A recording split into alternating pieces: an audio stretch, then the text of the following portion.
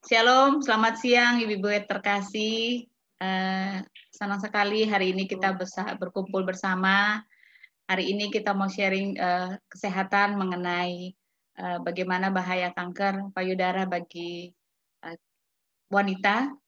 Dan hari ini mohon maaf dokter, ini beberapa saja yang hadir tapi kita rekor. Jadi kalau ibu-ibu yang nggak bisa gabung hari ini, mereka minta juga di-share jadi kita bisa share nanti uh, lewat Zoom rekaman yang nanti kita buat ini, Dok. Oke. Sebelum kita mulai hari ini, mari kita uh, berdoa dulu. Kita berdoa. Ya Tuhan, Bapa kami yang baik, Bapa yang kami sembah di dalam nama Tuhan Yesus, yang adalah Tuhan dan Juru Selamat kami yang hidup. Di saat ini Tuhan, kami datang bersyukur kepada Tuhan untuk waktu ini, kami bersyukur Tuhan memberikan kami kesehatan untuk kami boleh menikmati kasih anugerah Tuhan yang Tuhan berikan pada kami pribadi lepas pribadi. Terima kasih Bapak saat ini Tuhan kami akan sharing bersama mengenai kesehatan eh, untuk kami sebagai wanita yang akan disampaikan oleh Dr. Rebecca. Mari Tuhan Engkau tolong kami, kami yang mendengarkan, Tuhan berikan hikmat supaya kami mengerti apa yang disampaikan dan juga Tuhan memberkati uh, Dr. Rebecca yang akan memberikan materi pada kami pada siang hari ini. Biarlah Tuhan memberikan hikmat dan juga Tuhan tolong Bu Dokter supaya uh, Bu Dokter dipakai Tuhan untuk menjadi berkat bagi banyak orang. Berkati Tuhan setiap audio yang kami gunakan di rumah kami masing-masing, baik internet, baik laptop, handphone yang kami gunakan, Tuhan berkati dan kuduskan. Dan itu boleh menjadi berkat bagi kami semua yang hadir pada siang ini. Terima kasih Bapak, dalam nama Yesus kami berdoa dan mengucap syukur. Amin. Uh, silakan Bu Dokter, waktu ini saya uh, silakan kepada Bu Dokter. Ya, terima kasih. Suara saya cukup jelas? Ya, jelas dok. Jelas ya? Oke. Okay. Ya. ya. Uh, terima kasih untuk waktunya. Terima kasih ibu-ibu yang udah menyiapkan waktu uh, untuk hadir. Uh, saya boleh share screen-nya. Ya, iya dok. Uh, udah tampak ininya? Iya, tampak dok. Gambarnya udah ya? Iya. Oke. Okay. Jadi uh, apa? Bu Yustri ngasih ke saya itu judulnya bahaya kanker pada perempuan. Tapi saya agak ganti, kayaknya kalau bahaya tuh kok wah gitu banget ya, uh, okay. sesuatu yang menyeramkan gitu. Jadi saya ganti sedikit, saya uh, lebih memilih kata dampak ya. Jadi dampaknya apa sih uh, kanker pada perempuan ya? Kalau ibu-ibu uh, ditanya nih, uh, boleh di unmute coba ya Eh, sebetulnya kalau menurut ibu-ibu dampak kanker pada perempuan apa, Bu? Yang setahu ibu-ibu, ada yang mau uh, Kak Grace, silakan. Komentar, uh, saya kebetulan penyintas, dokter. Iya, makanya. Jadi dampaknya apa tuh? Dampak sih uh, dampak ada ya karena apalagi saya melakukan terapi hormonal apa mm-hmm. obat anti hormon. Mm-hmm. Jadi ya dampak secara fisik ada, psikis juga ada. Jadi, kalau ibu ditanya sekarang kalau menurut ibu karena ibu survivor ya, ya, ibu lebih suka kata dampak atau bahaya? Dampak. Ya, dampak. Ya, kayaknya lebih kalem gitu ya, Bu ya. ya. Lebih, netral. Dan ya, dan memang lebih luas sekali ininya jangkauannya, ya. Iya. Nah, tadi uh, udah dibilang, kenapa sih kok uh, dampaknya kita ngomonginnya pada perempuan ya memang sih ini persekutuannya perempuan ya tapi ya. coba kita lihat ya. kalau misalnya uh, kasus kanker ini data di dunia ya Datanya 2012 karena memang mengumpulkan data itu sukar sekali. WHO bilang angka kejadiannya paling tinggi itu kanker paru. Iya. Ya. Kemudian yang kedua kanker payudara, ketiga kanker kolorektal, keempat prostat, kelima tomah itu eh, lambung ya. Jadi ya. kalau di dunia tuh dikumpulkan kanker lambung itu juga cukup tinggi. Nah, gimana dengan angka kematiannya? Ternyata kanker paru nomor satu. Yang kedua kanker kolorektal. Yang ketiga kanker lambung. Kanker yang keempat itu kanker lever. Padahal kalau dilihat uh, insidennya nggak masuk lima besar, tapi angka kematiannya masuk lima besar. Dan untuk payudara, angka kejadiannya banyak. Kedua, tapi angka kematiannya kelima. Artinya apa? Nggak semua orang yang begitu dia didiagnosa pasti meninggal. Betul ya Bu Kris ya? Jadi nggak nggak selalu artinya kalau didiagnosa kanker itu artinya kematian. Enggak. Ya, kita bisa lihat di sini. Mungkin juga kita lihat nih kanker prostat masuk lima besar kejadian, tapi untuk angka kematiannya nggak masuk di lima besar, gitu ya. Jadi ini caranya kita juga kalau membaca data-data seperti itu, ya. ya. Nah, bagaimana kanker di Indonesia, ya? Nah, ini data yang dikeluarkan oleh Kemenkes. Jadi kalau dibagi antara pria dan wanita, yang di pria itu memang kanker paru paling nomor satunya. Keduanya adalah kanker kolorektal. Sedangkan pada perempuan, pada wanita, nomor satu kanker payudara, yang kedua adalah kanker serviks leher rahim. Ya, ini adalah data kalau kita lihat nih data 2012.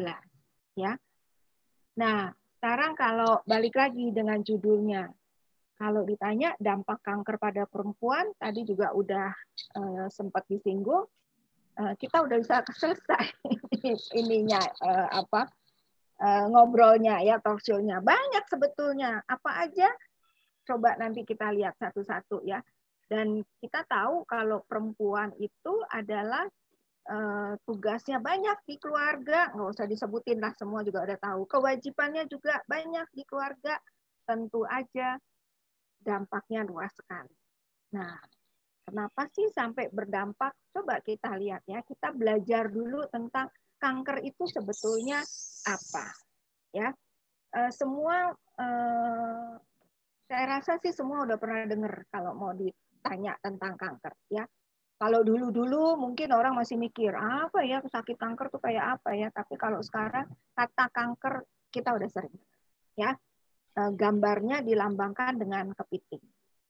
Jadi kanker itu penyakit akibat pertumbuhan yang tidak normal dari sel-sel jaringan tubuh dan dia merupakan kelainan genetik. Ya, kalau uh, belajar lebih detail lagi, artinya ada mutasi dari DNA. Ya, mutasi dari gennya yang sebagian besar terjadinya spontan dan uh, kita dari apa dari penelitian terus menerus itu diduga induksi pengaruh lingkungan itu juga besar ya nah kita uh, bedakan dulu orang sering bilang kata tumor orang sering bilang kata kanker jadi suatu benjolan yang abnormal di badan kita akan sebutnya tumor. Semua. Jadi kalau misalnya kita kejeduk, benjut aja kepalanya, kita udah sebut itu tumor. ya. Eh, kok ada benjolan ya di leher saya nih? Orang kalau orang Jawa bilangnya uci-uci gitu ya, kadang-kadang ada benjolan nih kok eh, apa? Pokoknya kita sebutnya tumor. Ketemu apa yang tidak normal di badan, kita sebutnya tumor. Tapi tumor belum tentu kanker. Tapi setiap tumor ini kalau uh, timbulnya uh, tiba-tiba keluar gitu, kita harus mikir dulu. Waduh, jangan-jangan ganas nih ya gitu. Sampai kita lakukan pemeriksaan-pemeriksaan dan memang terbukti itu enggak ganas. Ya. Jadi tumor itu ada dua, ada yang jinak, ada yang ganas. Yang kanker itu yang ganas.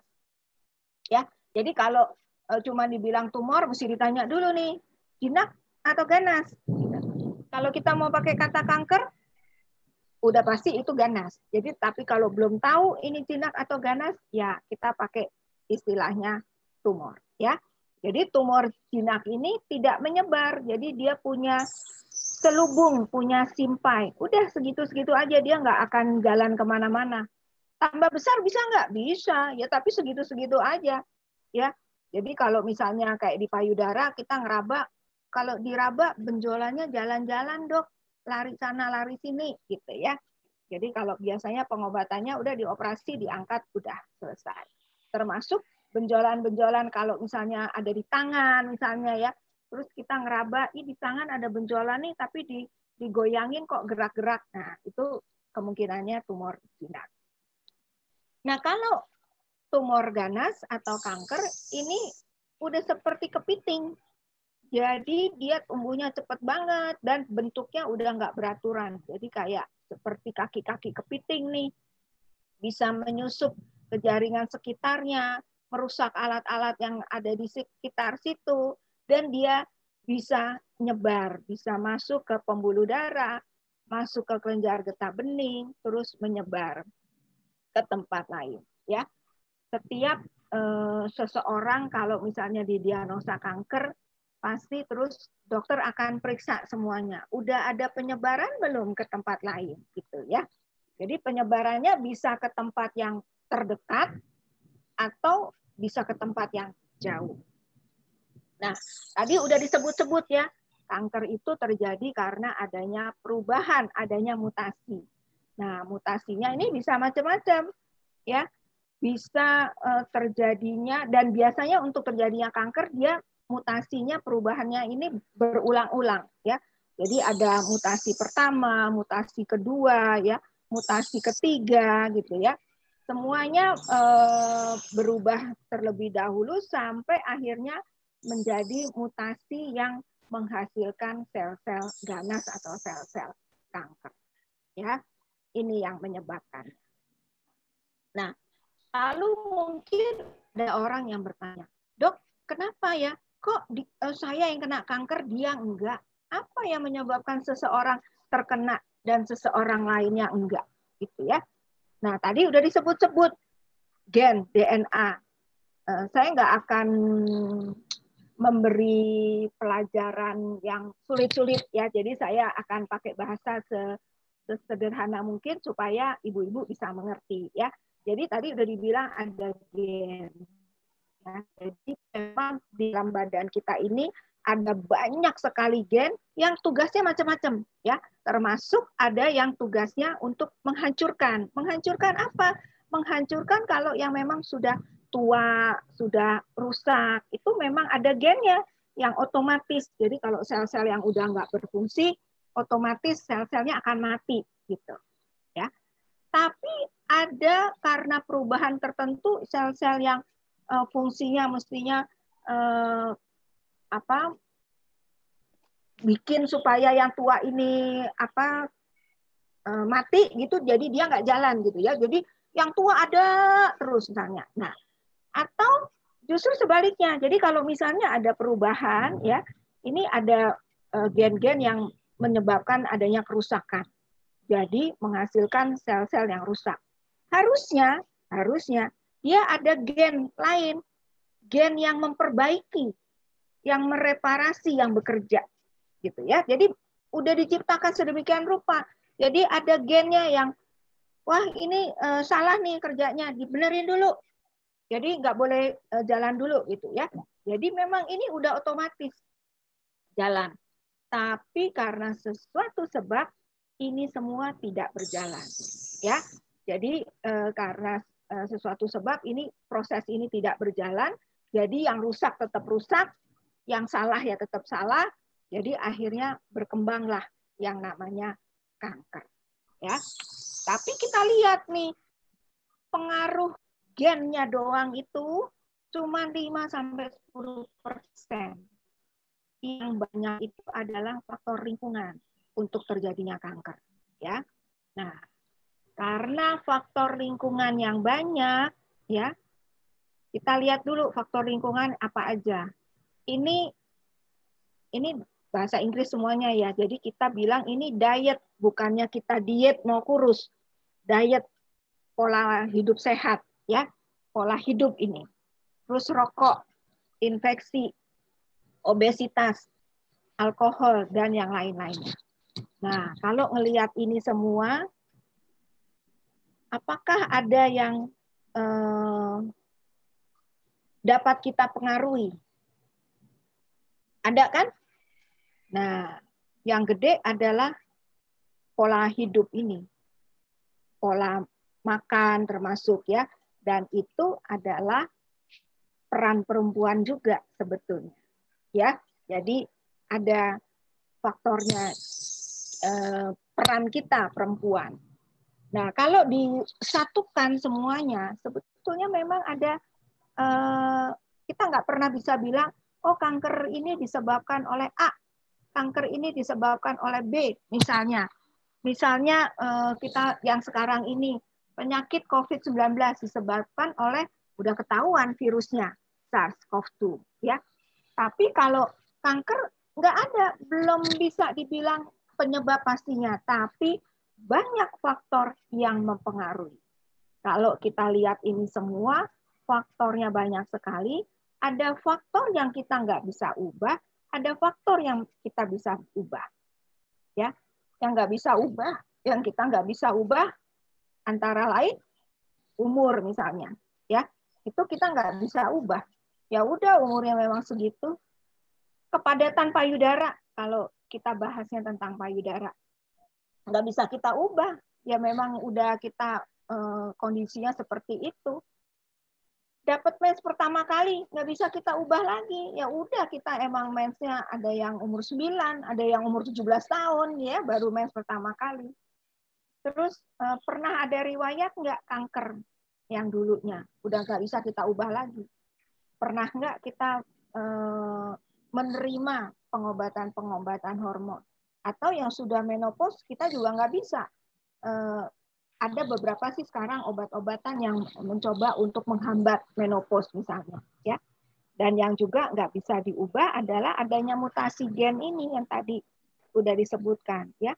Jadi ini beberapa memang kita nggak bisa ubah. Kita lahir dari orang tua yang ternyata sudah ada eh, sudah terkena kanker sudah terdiagnosa kanker itu nggak bisa diubah tapi ada faktor-faktor yang bisa kita ubah. Ya, antara lain ini ya diet yang nggak seimbang, ya merokok, alkohol, infeksi-infeksi kronis. Jadi kalau misalnya memang ada di udah terdiagnosa ada hepatitis B, ah diemin aja, nggak usah diobatin gitu ya. E, nanti juga baik sendiri misalnya ya. Nah, itu enggak karena kadang-kadang infeksi-infeksi ini kalau menahun lama-lama bisa juga menyebabkan perubahan. Juga hormon, ya, hormon. Nah, kalau kita lihat semua faktor-faktor risiko itu, kapan dari e, faktor itu terjadi sampai terjadinya kanker itu ternyata makan waktu yang lama sekali. Ya, dari sel normal ini berubah menjadi sel kanker ternyata banyak tahapan ada faktor eh, tahap awal, ada tahap-tahap prekanker ya. Jadi tahapan ini semua dari awal eh, masih normal sampai jadi kanker kita lihat. Makan waktu tahunan bahkan puluhan tahun. Artinya apa kalau melihat ini? Sebetulnya kanker itu bisa dicegah. Ya.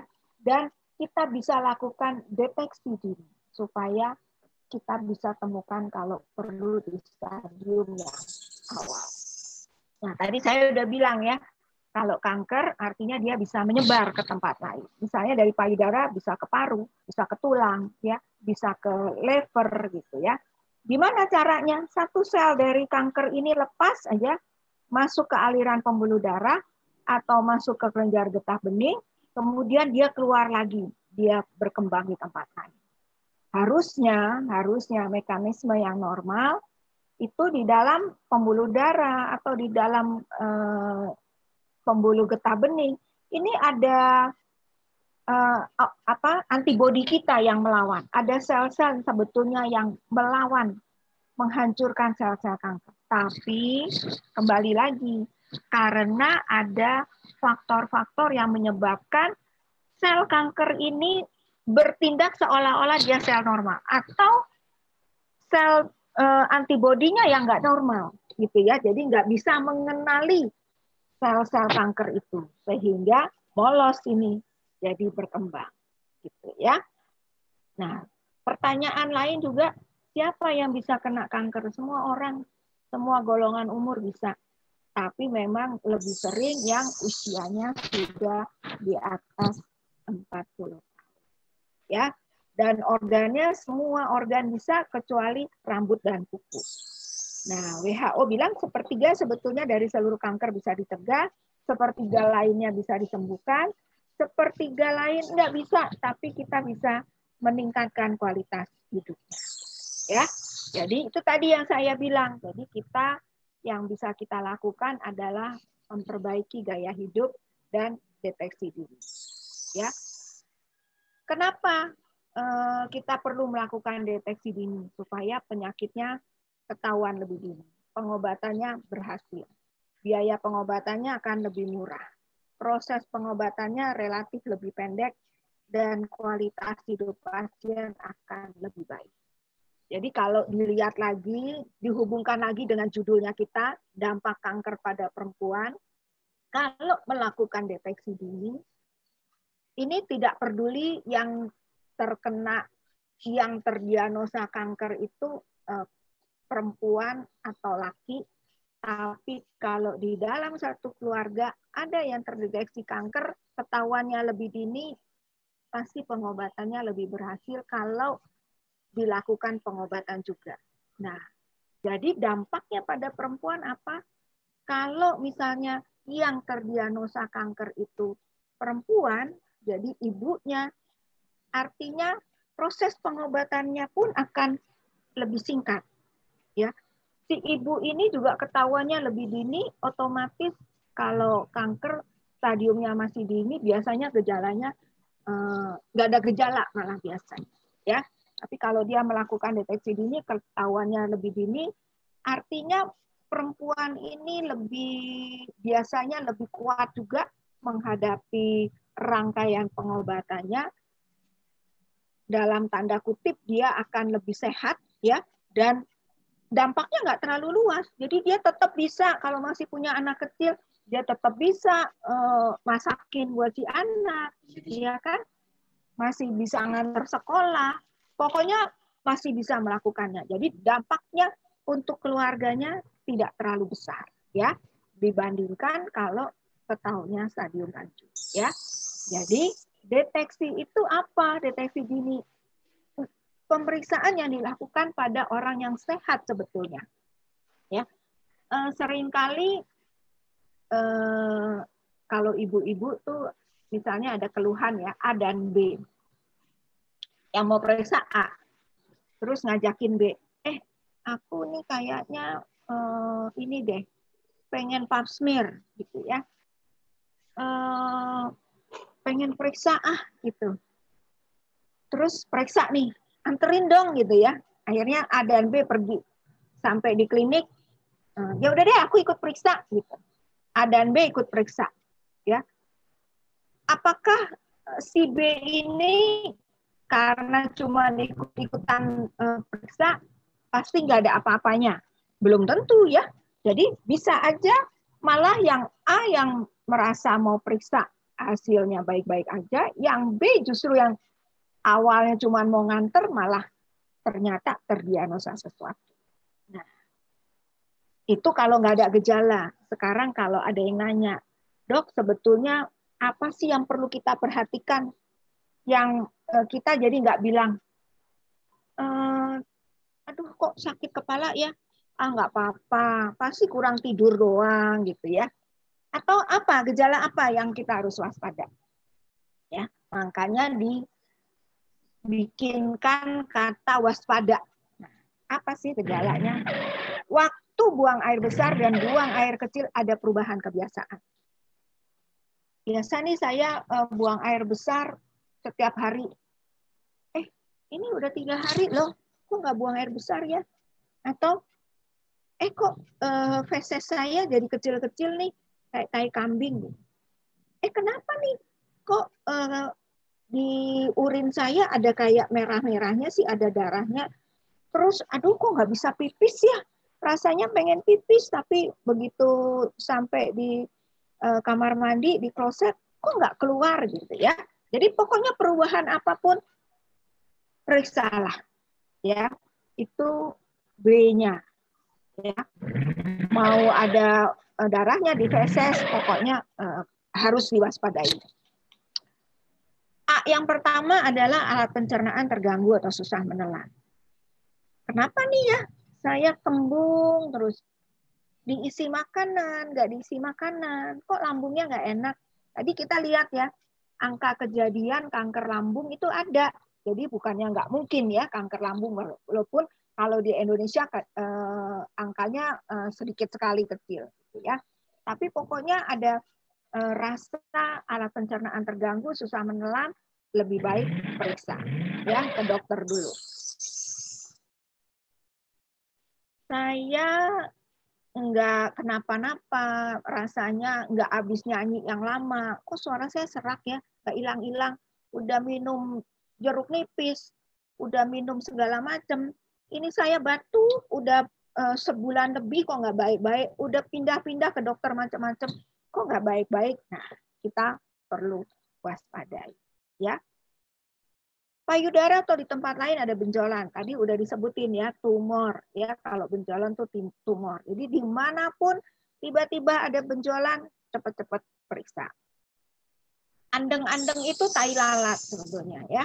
Yang berubah sifatnya makin besar atau jadi gatal, itu kita perlu waspadain juga. Tapi kalau ada tai lalat, memang dari dulu tai lalat saya ada di muka ya. Nggak kenapa-napa ya udah nggak apa-apa. Tapi begitu ih kok kesenggol dikit berdarah? Atau gimana? Nah itu kita harus waspada. Da yang terakhir itu darah atau lendir abnormal yang keluar dari tubuh. Jadi mimisan tadi dari buang air dari fesesnya dari urin dari vaginanya atau ya keluar lendir-lendir gitu ya pokoknya yang nggak normal kita perlu periksakan adanya koreng atau borok yang nggak sembuh-sembuh. Nah, ini kita harus bedakan juga dengan luka kencing manis atau diabetes. Ya. Nah, pertanyaannya kanker dapat disembuhkan nggak? Nah, Bu Grace bisa jawab, bisa. Buktinya saya oke okay nih sampai sekarang. Tapi ada syaratnya ternyata, ya kan? Kalau ditemukan stadium dini atau seberapa pun stadiumnya ditemukan dan pengobatannya tepat. Coba kalau pengobatannya dulu nggak tepat belum tentu juga ya bisa survive. Jadi itu yang penting. Pengobatannya apa?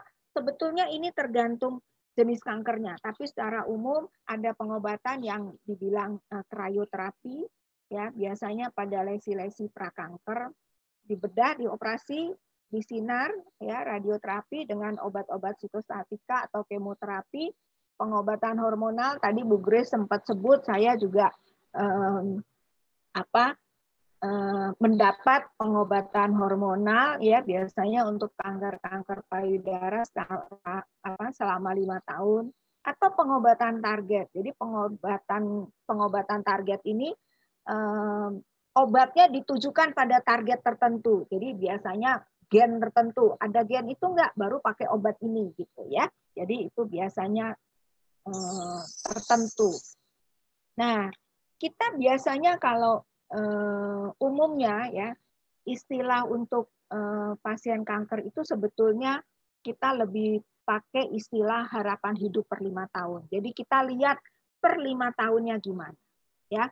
Terus uh, jadi lima tahun pertama, lima tahun kedua, lima tahun ketiga, gitu ya. Bisa sampai lima tahun ke berapa dok? Oh bisa banyak ya. Ada survivor yang udah sampai lebih dari 20 tahun ya. Ada yang kenanya di anak-anak, sekarang udah remaja, berarti kan udah lebih dari 20 tahun, ada yang 30 tahun gitu ya. Jadi tergantung juga stadiumnya berapa dan pengobatannya bagaimana. Nah, sekarang kita udah tahu eh, gimana sih dampaknya kanker itu kan eh, dari gejalanya ya kita udah singgung sedikit. Sekarang gimana supaya kita bisa mencegah kankernya? Ya, Tadi udah disebut yang besar faktornya adalah gaya hidup. Nah, gaya hidup sehat itu seperti apa? Ya, sebetulnya luas cakupannya. Nah, sekarang kita diajarin nih zamannya pandemi hidup sehat yang sederhana apa? Cuci tangan, ya. Kalau dulu kita cuci tangan ya udah tau lah gitu nggak nggak khusus sekarang benar-benar ya setiap kali sampai bosen ya bosen ya dengernya cuci tangan gitu ya setiap kali apa eh, dengerin ceramah dengerin seminar atau ngeliat di mana pun cuci tangan. Bahkan kita pergi ke mana disiapin air. Cuci tangan dulu baru boleh masuk gitu ya. Kadang-kadang ada yang begitu. Jadi itu termasuk salah satu eh, apa pola hidup sehat yang mesti kita ciptakan selain juga lingkungan kita ya.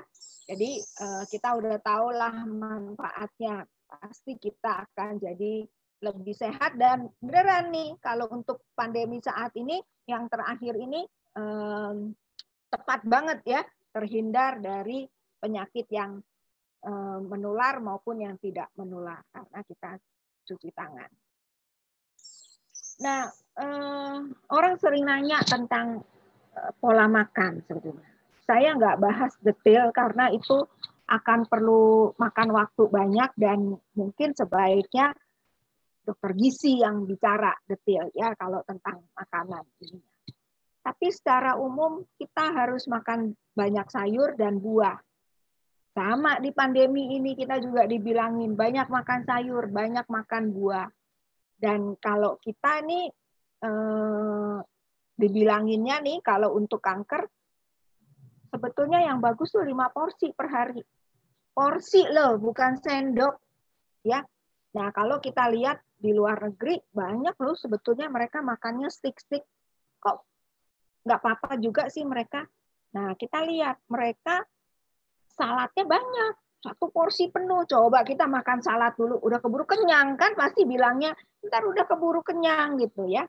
Tapi itu yang harus kita lakukan. Jadi makan sayurnya cukup banyak, buahnya juga ya untuk seratnya.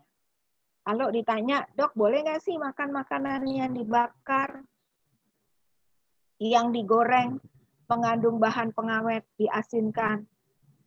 Nggak ada yang tulis dilarang, tapi kurangi. ya. Artinya kalau ditanya ke dokter, boleh nggak? Boleh. Tapi gitu ya, ada tapinya. Dikurangi. ya sedapat mungkin yang bisa dihindari, dihindari. Kenapa goreng-gorengan kurang bagus? Karena pemasakan dengan suhu tinggi, waktunya lama, ini menghasilkan zat-zat karsinogen namanya. Zat-zat yang bisa menyebabkan kanker. Zat-zat yang bisa menyebabkan gen-gen itu berubah, bermutasi gitu ya. Jadi itu sebabnya ini harus dikurangi. Boleh dong makan sate, bolehlah sekali-sekali, toh nggak tiap hari makan sate gitu ya. Jadi ini yang perlu diperhatikan. Nah, lemak ini harus dibatasi. Tadi ada tuh faktor resikonya salah satunya adalah obesitas. Selain kita udah tahu kalau eh, kita makan banyak lemak, berat badan kita langsung naik juga ya banyak yang ini juga nih kebanyakan di rumah akhirnya ngemil terus berat badannya naik gitu bukannya tambah kuru turun gitu ya nah santan-santan segala gini ini kurangilah ya karena salah satu faktor resikonya tadi disebut juga obesitas ya nah ini sebetulnya ada makanan-makanan yang mengurangi resiko jadi kita lihat makanan-makanan yang mengandung serat, yang mengandung asam folat, ya, mengandung vitamin D dan kalsium, makanan-makanan antioksidan, ya, makanan yang banyak vitamin C-nya. Teh juga ternyata bagus, ya, terutama teh hijau biasanya atau uh, tapi jangan teh manis sebaiknya, ya. Terus yang mengandung uh, zat yang namanya alfa tocoferol juga, ya. Ini masih pro dan kontra untuk eh, apa nih kedelai ya kedelai ini masih pro dan kontra ada yang bilang nggak apa-apa kok nggak ada hubungannya dengan eh, kanker payudara tapi di satu sisi ada penelitian yang membuktikan ternyata meningkatkan resiko loh gitu. Jadi gimana dong dok? Ya kita sewajarnya aja lah gitu ya. Jangan minum uh, atau makan makanan kedelai yang terus-terusan gitu. Terus eh, nggak ada variasinya yang lain. Nggak juga gitu ya. Sekali-sekali bolehlah ya. Jadi ini yang eh, makanan yang mengurangi. Ini makanan yang diduga meningkatkan resiko. Alkohol udah pasti. Jadi biasakan eh, masak itu jangan terlalu asin. Gimana kita bisa tahu? Kita eh, ini lagi nggak bisa ngumpul sih ya Bu ya. Tapi kalau nanti Ibu ngumpul lagi, misalnya nih masing-masing bawa makanan, ya eh, masakan sendiri tapi misalnya coba atau masak atau makanan satu makan rame-rame. Coba eh, tiga orang aja deh ngerasain. Apakah tiga orang ini punya eh, kadar pengecap yang sama? Mungkin buat saya ini keasinan nih. Eh buat Bu, uh, Bu Yusti bilang nggak asin ini dok tapi pedes misalnya gitu ya Bu Lucy lagi bilang wah ini sih buat saya dok hambar nggak ada rasanya misalnya. Bu Grace bilang lagi enggak dok ini pas gitu ya. Pasti beda. Nah caranya kita mulai mengurangi karena begitu kita biasa kalau masaknya asin lidah kita pasti jadi asin. Ini nggak ada rasanya nih gitu ya. Jadi mulai biasakan supaya anak-anak kalau ibu masih punya anak-anak yang masih remaja kecil terbiasa lidahnya. Kalau enggak kalau dia dari kecil terbiasa asin, nanti udah makin usianya bertambah tambah asin lagi ya selain nanti resiko untuk terjadinya darah tinggi juga tinggi nanti ya. Nah, terus juga makanan yang mengandung sukrosa. Nah, ini memang uh, mesti ngelihat. Jadi kalau beli sesuatu harus dibaca kadarnya bagaimana. Ini yang masih sering jadi pertanyaan. Daging merah gimana? Beberapa memang uh, mengatakan bahwa daging merah itu meningkatkan resiko. Tetapi beberapa lagi uh, penelitian mengatakan nggak ada hubungannya. Ya. Jadi sebetulnya tadi saya sudah sempat sebut makanan yang dimasak dengan suhu tinggi dan waktu yang lama menghasilkan zat-zat yang sifatnya karsinogen. Kalau daging merah, umumnya kita masaknya sebentar atau lama, Bu.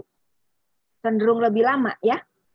Nah, artinya kemungkinan untuk ada zat-zat yang eh, karsinogen lebih tinggi, betul ya? Jadi boleh dikurangi makanan yang daging merah, tapi bukan berarti nggak boleh sama sekali. Kurangi. Dan yang penting adalah cara prosesnya. Jadi gimana caranya? Kalau mau bikin stick, sticknya yang tipis aja supaya cepat matang gitu. Dan biasanya makanya eh, kalau orang luar negeri juga lebih milih stick yang bukan yang well done. Tapi kita biasanya nggak doyan ya kalau stick dipotong masih keluar darahnya gitu kan kita uh, matengin lagi dong gitu ya. Jadi memang uh, itu juga uh, faktor uh, lainnya ya. Dan ini juga makanan yang lemak ya, kita tahu. Nah, ini memang sudah dikeluarkan. Jadi sebetulnya ada kalsifikasinya ya, klasifikasinya ya. Mana yang sifatnya karsinogen, ada yang grup 1, grup 2A, grup 2B, 3, 4. Jadi yang grup eh, 1 ini memang berbahaya banget bagi manusia. Kalau grup 4 ini kemungkinan kemungkinan tidak. Jadi dibilangnya baru kemungkinan. Artinya semuanya ini masih uh, dalam taraf penelitian yang belum bisa dibilang uh, ya atau enggak gitu ya. Jadi mungkin masih ya beberapa masih harus dilihat lagi, harus diteliti lagi. Termasuk ini nih kopi masuk 2B. Mungkin ada uh, hubungannya nih katanya gitu ya. Tapi ada penelitian lain yang bilang dan mungkin waktu itu sempat uh, terviralkan juga kayaknya di medsos. Minum dua cangkir kopi akan mencegah, eh, mencegah meningkatkan eh menurunkan resiko kanker payudara. Pernah nggak dengar gitu kan? Nah, jadi semuanya ini kembali lagi masih ada penelitian-penelitian yang dilakukan. Nah, ini juga nih tuh ya. Jadi berapa sih kuatnya kejadiannya ya ini dibilang eh, menyebabkan kanker termasuk yang grup 1. Ya. Kalau ini grup 4 kemungkinannya enggak. Jadi ya semuanya enggak ada yang pasti ya. Tapi memang eh, resikonya lebih tinggi gitu atau resikonya tidak ada. Ya. Ini kita sering makan ya kayaknya ya. Makanan-makanan ini, makanan enak kita. pencegahan lain olahraga. Nah, olahraga nggak cuma buat kanker, buat semua penyakit. Selalu disuruhnya olahraga. Nah, zaman pandemi gini gimana dok kita olahraganya? 30 menit di dalam rumah aja nggak apa-apa. Ya, e, kalau untuk COVID sekarang ini dianjurkannya olahraga yang e, membutuhkan pernapasan gitu ya, yang pernapasan. E, boleh nggak lari keluar? Eh, kalau lokasinya sepi sih dibilang boleh ya eh, sekarang tapi nggak boleh rame-rame karena virus COVID ini dibilang aerosol juga ya jadi bisa masih bisa tertular jadi kita semua nih uh, jadi parno ya bu ya mau keluar rumah parno apa uh, bingung mau ini melakukan sesuatu kita uh, ini sih udah nggak usah dibahas ya. Stop merokok, minum alkohol udah pastilah untuk mencegah banyak penyakit juga ya. Kemudian ini juga jadi kalau ini ada hubungannya dengan kanker kulit ya. Jadi kita sinar matahari pada jam-jam tertentu yang sangat terik banget memang bersifat karsinogen juga. Jadi kita perlu melindungi kulit kita juga ya. Pencegahan yang kelima Eh, beberapa kanker ada hubungannya dengan virus ya. Ini udah ada vaksinnya. Jadi kanker hati ada hubungannya dengan hepatitis C biasanya, B dan C gitu ya. Eh, jadi eh, kita melakukan vaksinasi untuk virusnya, bukan langsung untuk kankernya, termasuk kanker serviks karena ada hubungannya dengan virus yang namanya HPV. Ya. Jadi kesimpulannya apa? Untuk mengurangi dampak kanker pada perempuan, kita harus melakukan pola hidup yang sehat. Ya, udah disebutkan lagi berkali-kali. Sehat itu kita seimbangkan gizi kita. Ya, makanan, pola hidup, kita enyahkan kebiasaan-kebiasaan buruk merokok gitu ya. Makan makanan yang asin kita hindar. Kita hindari stres. Kita awasi bagian tubuh yang rawan sakit. Kita teratur hidup. Ini yang kita lakukan supaya kita sehat ya Kemkes sendiri mengeluarkan kata cerdik cerdik itu ada singkatannya juga. Tadi sehat ya. Sekarang supaya sehat kita harus cerdik. Nah, cek kesehatan secara rutin. Artinya apa? E, kalau kita melihat ya, sebetulnya perempuan itu lebih care ya, biasanya lebih perhatian. Jadi dampaknya kita yang harus bawel. Ayo yuk cek kesehatan rutin ya buat diri kita sendiri maupun anggota keluarga kita yang lain ya suami uh, ya pasangan jadi atau orang tua gitu ya atau saudara gitu ya kita ingatkan enyahkan asap rokok rajin melakukan aktivitas fisik diet yang seimbang istirahat cukup jangan lupa istirahat cukup kelola stres ya jadi kita perlu cerdik nah ini saya titip nih, titip promokan tolong karena uh, Indomaret nih bekerja sama uh, dengan Yayasan Kanker untuk melakukan program donasi. Nah, ini soalnya kita mau uh, dananya ini untuk membeli alat deteksi kanker payudara, ya,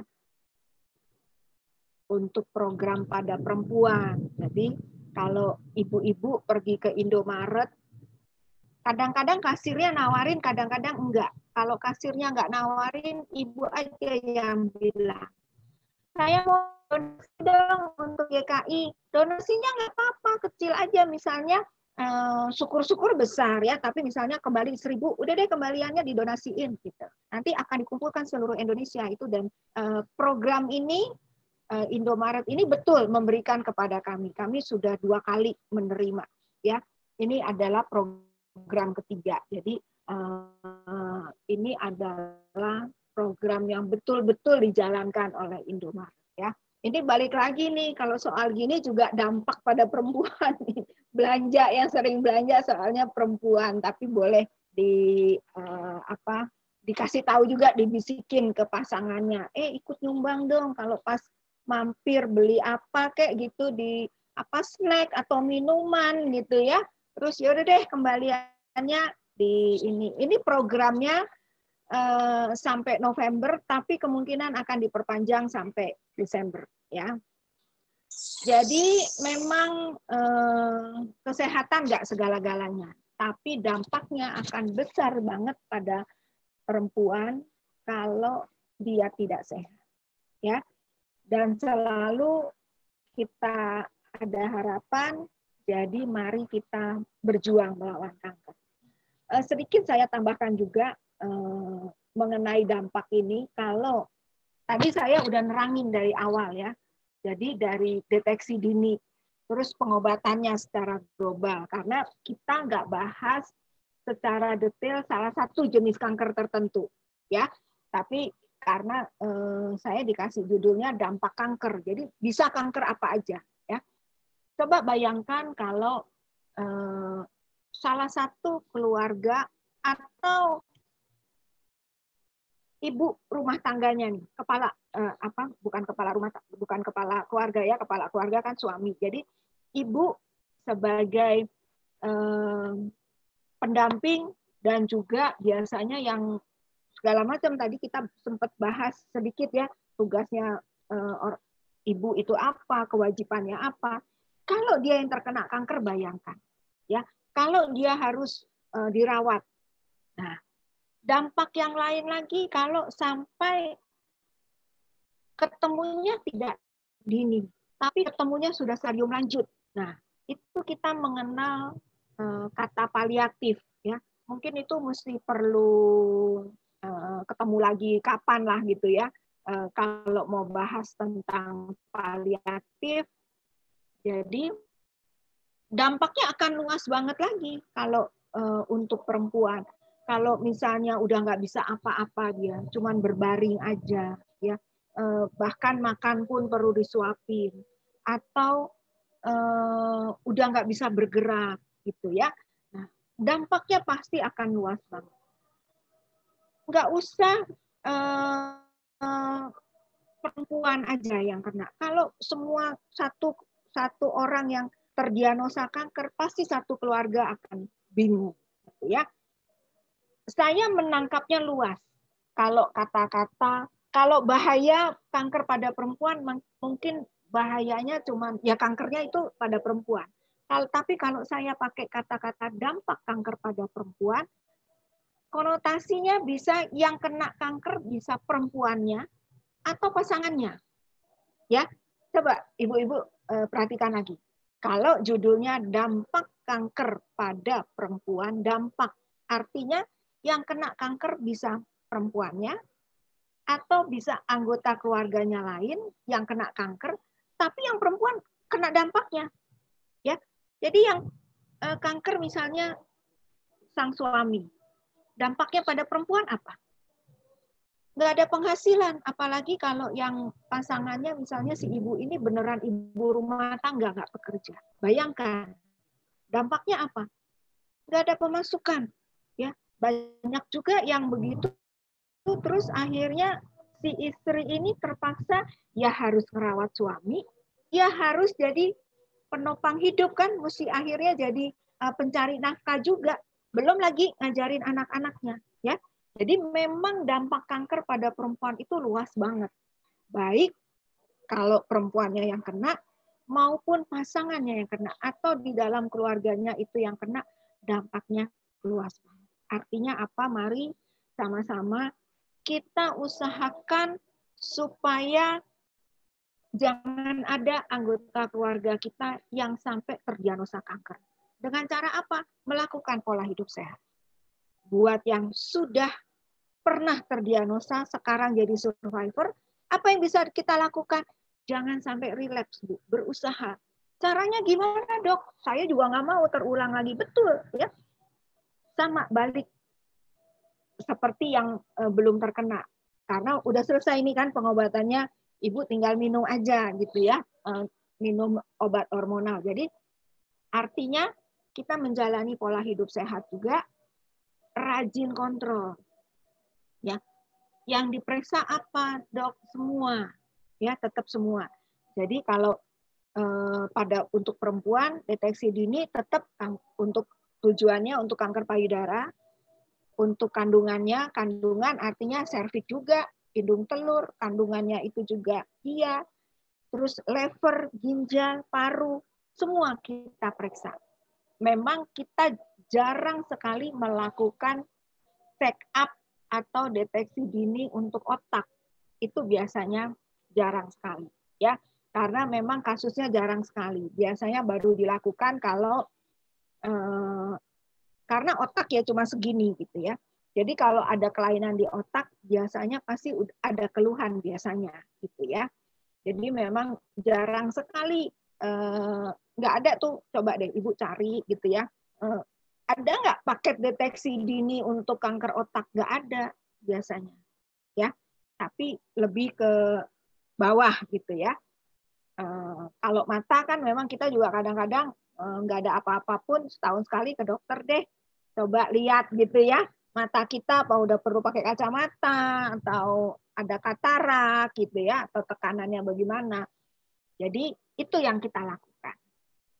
Saya rasa uh, itu yang bisa kita, saya sampaikan. Terima kasih. Mungkin sekarang kita tanya jawab.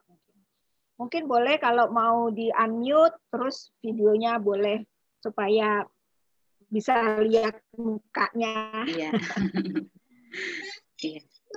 Oke. Okay. Ini udah ada yang ada di chat atau mau di uh, Ya. Ya. Ya, Dok. Makasih, Dok. Gitu? Ya. Ya, terima kasih dok untuk sharing hari ini. Kita mau baca pertanyaan dulu dari chat ya dok. Ini ya, dari, boleh. Uh, dari Ibu Rafan Abiyu uh, ditanya apakah jika pakai minyak zaitun atau kanola untuk menggoreng bisa menghasilkan zat kardionerik juga jika Kars, mungkin karsinogen. Ya ya ya. Karsinogen mungkin maksudnya. Karsinogen oke. Okay. apakah minyak zaitun minyak kanola, bisa menghasilkan? Ya dia tanya kedua kali ya. Jadi gimana dok? Dan pap smear uh. itu berapa lama sekali dok baiknya? Nah, atau jika kita pakai apa nih? Air fryer. Ini saya nggak tahu nih apa ya air fryer itu apa ya? Itu ya. ya yang alat ya, yang untuk itu ya eh, mendinginkan ya. Bu Rafan mungkin boleh Bu Rafan bisa jawab Bu Rafan. Itu air fryer kayak apa ya? Saya kurang paham tuh alat apa. Tapi kalau ditanya minyak zaitun atau kanola, Uh, setahu saya ada minyak-minyak tertentu yang memang nggak boleh untuk menggoreng, hmm. ya. Jadi hmm. memang minyak itu minyak yang harus dimakan. Uh, jadi bukan untuk diproses, uh, bukan untuk diproses lagi, ya. Nah itu mesti dibaca, mesti dibaca. Sama aja kalau mau minyak dari apa pun, kalau minyaknya uh, dipakai berkali-kali juga, terus suhunya tinggi, jadi eh, kentang goreng itu french fries ada soalnya ada ibu-ibu yang bilang gini dok, eh, tapi anak saya soalnya kalau nggak makan itu nggak mau makan dia. Jadi setiap hari saya gorengin itu. Sekarang saya tanya bu, ibu kalau goreng kentang goreng french fries itu bisa sebentar nggak? Lama loh. Minyaknya banyak kan? Itunya juga temperaturnya mesti tinggi kan?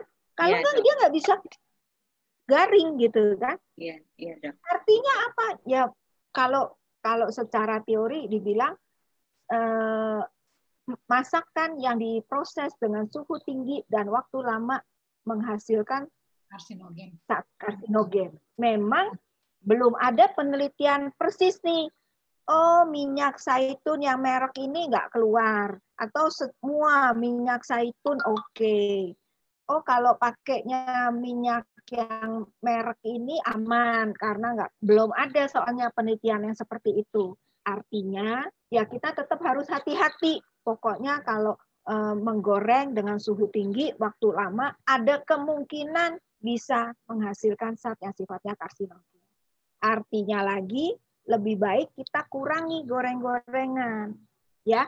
Jadi seperti itu Bu jawaban saya, ya. Terus kalau ditanya uh, pap smear berapa lama sekali? Yang uh, umumnya ya, jadi yang rutin itu sebetulnya setahun satu kali. Tapi ada kalanya misalnya pap smear Misalnya ibu udah pap smear nih ya tahun ini. Supaya nggak lupa, biasanya sih kita nganjurin ibu pap smear aja pas ulang tahun. Menghadiahi diri sendiri dengan hasil check up gitu. Kalau uh, hasil check upnya bagus kan seneng. Ih hadiah ulang tahunku, aku sehat gitu ya. Tahun ke ini uh, pap smearnya bagus tahun kedua juga. Eh tahun ketiga kok ada radangnya ya. Terus di situ anjurannya e, diobati kemudian diulang tiga bulan lagi misalnya. Ya ibu ulang tiga bulan lagi gitu ya. Tapi kalau enggak, enggak ada apa-apa, biasanya setahun sekali cukup bu, tapi rutin.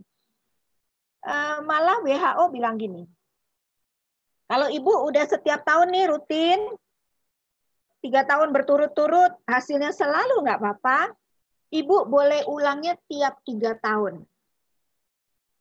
Ayo, ada yang berani nggak seperti itu?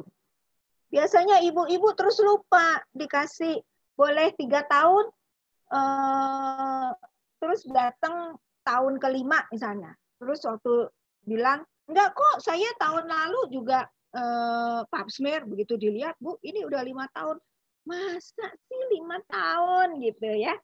Jadi biasanya kita nggak anjurkan uh, yang tiga tahun sekali karena biasanya ibu-ibu kalau di Indonesia suka lupa dan nggak ada klinik yang belum ada sampai saat ini klinik yang ngingetin ibu-ibu manggil, ayo ayo waktunya pap smear belum ada nih soalnya kita datanya masih rada uh, kurang ya untuk mengingatkan kalau di luar negeri memang dipanggilin, ayo pap smear uh, Bu Kris belum waktunya belum uh, mamu nih. Ayo. Nah, kalau di luar negeri ada tuh yang manggilin. Kalau di kita memang belum ada. Jadi biasanya kita tetap bilangnya uh, setahun sekali, ya.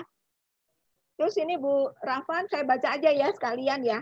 Uh, pertanyaannya untuk menggoreng tapi minyak hanya oles.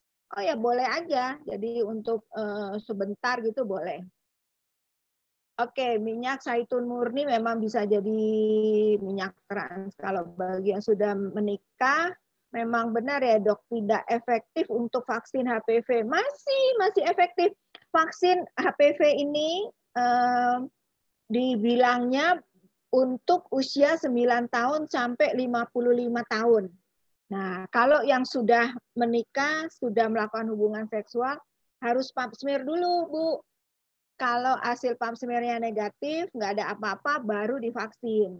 Kenapa harus pap smear dulu? Jangan sampai tahu-tahu dia emang udah ada kankernya, terus divaksin, terus bilang, lu saya udah vaksin kok, oh tetap kena kanker. Padahal mungkin eh, dari sebelumnya emang udah kena kanker.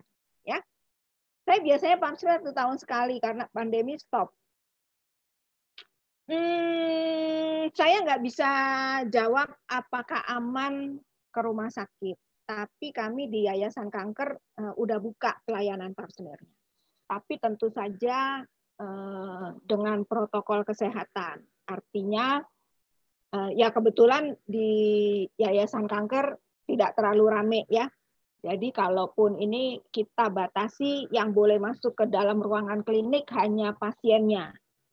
pengantar kita suruh nunggu di tempat parkir atau nunggu di mobil aja. Jadi nggak rame di dalam klinik ya. Terus eh, perawatnya pakai APD udah pasti. Terus eh, setiap ganti pasien eh, itunya apa kursinya kursi kan kalau pap smear kursinya khusus ya. Ya itu kita bersihkan dulu, kita desinfektan sebelum pasien berikutnya. Jadi memang eh, antar pasien yang eh, apa? Jadi pasien-pasien yang masuk pun kita eh, apa ya istilahnya kita screening ya. Kita tanyakan dulu. Jadi eh, ya memang kita kan ibu-ibu juga banyak ya dengar baca kadang-kadang ada yang OTG ya kan ya memang itu kita nggak bisa cegah ya, tapi kita berusaha sedapat mungkin sih mencegah penularan yang ada, ya. Eh, tapi kita kami udah buka di GKI udah buka sejak eh, awal-awal pandemi itu di bulan Maret, Maret pertengahan Maret, April, kita bukanya Juni kalau nggak salah Juni kita baru mulai buka pasmir lagi. Sampai sekarang sih eh, puji Tuhan sampai sekarang kami sehat-sehat semua ya. Jadi kita memang juga membatasi, tapi kita belum buka tiap hari Bu. Kita buka Senin, Rebo, Jumat. Kita tetap eh, membatasi ya. Jadi tetap ajalah Bu protokol kesehatan tetap kita jalankan. Apa benar gula memicu kanker? Enggak juga, enggak. Ya, tapi eh, hubungannya kalau orang terlalu banyak makan gula biasanya obes. Nah, obesitas itu tadi udah dibilang salah satu resiko terjadinya kanker. Gitu. Semoga puas. Ada yang mau langsung tanya, silakan.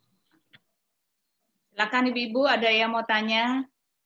Atau mau sharing, Bu Grace yeah. mau sharing? Oh iya, Bu Grace. Betul, Bu Grace mau sharing. Uh, uh, sharing waktu dulu gimana sih Bu ketahuannya awal? Yeah. Apa yang Ibu lakukan? Mungkin Ibu juga bisa cerita uh, dampak saat Ibu terdiagnosa kanker, dampaknya ke keluarga bagaimana? Jadi kita sama-sama kan bisa tahu. Silakan.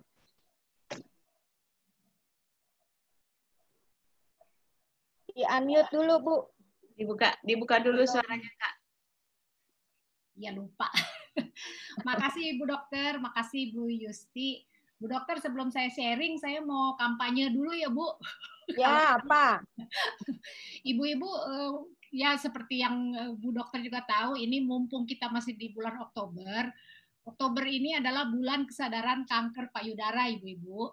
Jadi saya mau kampanye ini agar ibu-ibu uh, yang usianya uh, khususnya 40 tahun ke atas uh, apa harus sudah melakukan uh, apa deteksi dini secara teratur.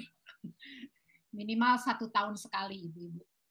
Untuk pemeriksaan mamograf atau USG payudara dan uh, mungkin yang lain juga ya serviks dan sebagainya.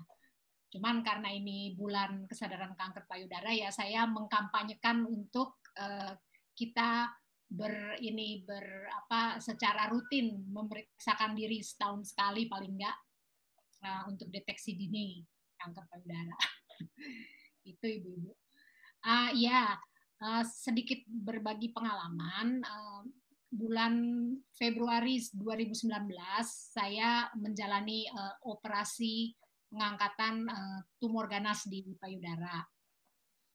Uh, saya didiagnosa bulan uh, Januari akhir. Nah, uh, saya uh, mendapatkan diagnosa tersebut karena melakukan pemeriksaan ini kesehatan satu tahun sekali.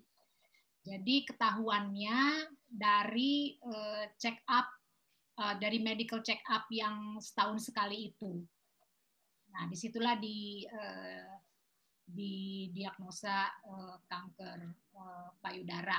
Padahal ibu-ibu sebelumnya saya memang setiap tahun melakukan uh, deteksi dini ya. Tapi uh, waktu itu memang sudah 17 bulan berselang sejak uh, pemeriksaan terakhir. Nah, 17 bulan berikutnya waktu didiagnosa eh waktu dilakukan pemeriksaan dari mamograf uh, ketahuanlah bahwa ada uh, sel tumor ganas. Mungkin seperti yang tadi sudah dijelaskan Ibu Dr. Rebecca butuh waktu ya Bu ya untuk sel itu bertumbuh mungkin yang 17 bulan sebelumnya itu belum belum terlihat ya Bu ya padahal uh, mungkin sel kankernya sudah ada. Nah, uh, saya beruntung karena uh, terdeteksi sejak awal sehingga uh, ada apa uh, uh, tidak perlu melakukan uh, mastektomi tapi uh, hanya pengangkatan uh, tumornya saja dan dari hasil uh, pemeriksaan uh, dari hasil patologi operasi ditemukan bahwa eh, kanker tersebut masih dalam stadium awal yaitu stadium 1 sehingga tidak perlu menjalani kemoterapi. Tetapi saya tetap harus melakukan radiasi dan setelah itu terapi eh, obat hormonal. Eh, seperti juga yang Ibu dokter katakan tadi, eh, semakin dini kita eh, semakin eh, apa semakin dini terdeteksi maka uh, akan menjadi mudah uh, buat kita ya sebagai orang yang didiagnosa uh, kanker. Semakin uh, awal itu ditemukan maka dari segi uh, operasi terapi itu pun semakin apa uh, lebih ringan daripada kalau sudah ketahuan dalam stadium uh, dalam stadium lanjut. Itu saja Bu Dokter. Ya, terima kasih uh, sharingnya. Jadi artinya Bu, uh, ibu-ibu yang lain kalau deteksi dini, jadi jangan mikir gini, ah nggak mau ah periksa, ntar malah ketahuan tuh kan, uh, apa itu ketahuan tuh malah dibilang kanker gitu. Udah telat lagi kan meriksanya. Jangan mikir gitu. Tapi kita pikirnya dibalik. Bersyukur kata Bu Grace ya. Ketahuannya stadium dini. Jadi nggak perlu dimastektomi ya. Jadi eh, nggak perlu sampai diangkat semua bisa gitu ya. Dan pengobatannya sampai eh, lebih sederhana kan. Jadinya lebih singkat. Nggak perlu kemo. Tapi eh, operasi terus eh, radiasi minum obat minum obat kalau tablet gitu kan sebetulnya nggak terlalu berdampak ya tetap aja bisa ngerjain sesuatu kan. Iya betul ya Bu Grace ya. Dan nggak mesti mondar mandir ke rumah sakit lagi. Uh, jadi kita harus melihat dari sisi positifnya ya. Kalau jadi jangan mikir kalau kita periksa malah nanti ketahuan yang yang uh, nanti ketemu macam-macam deh orang nggak ada keluhan kok gitu kan jadi sebetulnya kalau pada eh, kanker payudara sebelum terjadi benjolan tapi ketahuannya stadium beneran stadium awal banget stadium satu kalau perlu stadium nol yang belum berupa eh, terjadinya masa benjolan itu pengobatannya lebih singkat. Jadi harapan hidupnya juga pasti akan lebih baik lagi lebih jauh ya. Jadi itu eh, dampaknya juga ke keluarga akan nggak terlalu berdampak lah boleh dibilang ya. Jadi lebih singkat itu keuntungannya. Uh, saya mau jawab untuk ini juga nih. Uh, Bu Rafa nanya lagi nih sel kanker di tiap manusia ada? Enggak enggak ya. Ini uh, pernyataan bahwa setiap manusia sudah mengandung sel kanker tidak benar ada nggak manusia yang eh, tidak mengandung sel kanker? Menurut kami ada, ya. Eh, kan Tuhan menciptakan kita sebetulnya baik adanya, ya. Apakah ada orang yang tidak ada sel kankernya? Ada, tapi memang belum ada penelitian yang bilang bahwa semua orang kena kanker. Saya tanya, ya, kalau Eh, pernyataan itu dibilang setiap orang mengandung sel kanker. Apakah benar udah ada penelitian? kalau kita nih semua diperiksa ada uh, sel kankernya gitu. Gak ada kan? Gimana kita bisa tahu ada sel kankernya? Enggak, ya. Tapi kalau dibilang setiap orang ada kecenderungan selnya berubah jadi sel kanker, betul, ya. Bukan mengandung sel kankernya, tapi kecenderungan sel normalnya berubah jadi sel kanker, betul, ya. Apakah kecenderungannya besar atau kecil? Beda lagi, itu dipengaruhi banyak hal. Ya, kalau misalnya eh, kanker pada anak tadi juga ditanyain sama Ibu Rafa, ya. Eh, memang berbeda karena kalau kanker pada anak kadang-kadang masih umur berapa bulan udah terdiagnosa kanker, misalnya kanker eh, darah gitu ya. Nah, itu biasanya memang dia sudah mengandung sel-sel kanker. Jadi secara genetik memang sudah ada gennya yang menyebabkan kankernya yang dia bawa dari orang tuanya. Gitu. Ya. Jadi kalau ditanya apakah kanker penyakit keturunan? Bukan.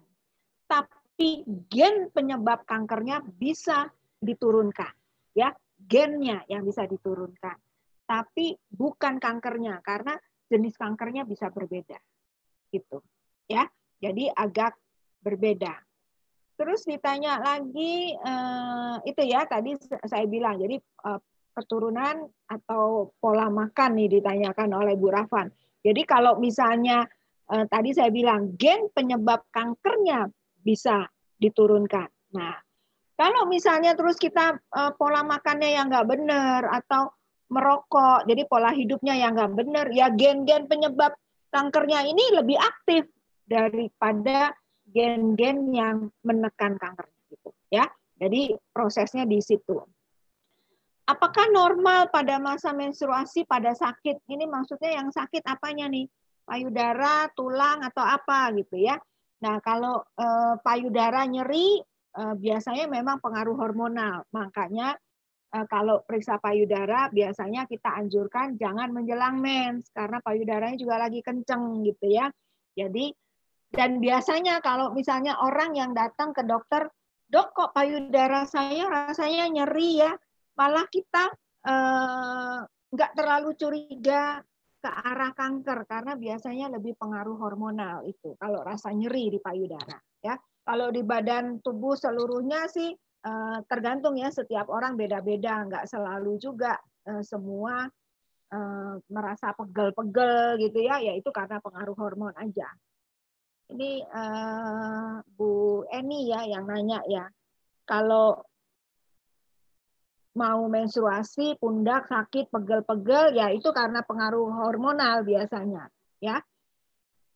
Uh, umur saya 46 waktu masih gadis menstruasi biasa-biasa tapi setelah punya iya gitu Bu. Jadi karena pengaruh hormonal biasanya. Apakah kadar uh, hormon setiap orang itu akan sama terus sepanjang masa? Enggak, akan berbeda. Balik lagi. Hormon itu uh, bedanya bisa memang tidak pernah ya Eh, mungkin belum ada penelitian yang eh, membuktikan yang bikin penelitian seperti ini. Misalnya saya waktu umur sebelum mulai mens saya diperiksa hormon saya. Terus begitu saya remaja, eh, saya udah mens, hormon saya diperiksa lagi kadarnya. Waktu saya menikah, hormon saya diperiksa misalnya. Terus hamil anak pertama periksa, hamil anak kedua periksa, terus begitu ya. Sampai saya usia menopause periksa lagi. Terus nanti setelah itu mungkin kalau masih ada umur 70, 80 diperiksa, belum ada soalnya penelitian seperti itu. Jadi apakah hormon, kadar hormon setiap orang berubah sepanjang hidupnya? Iya. Nggak usah sepanjang jalannya itu aja. Kadang-kadang eh, kayak Bu Grace misalnya.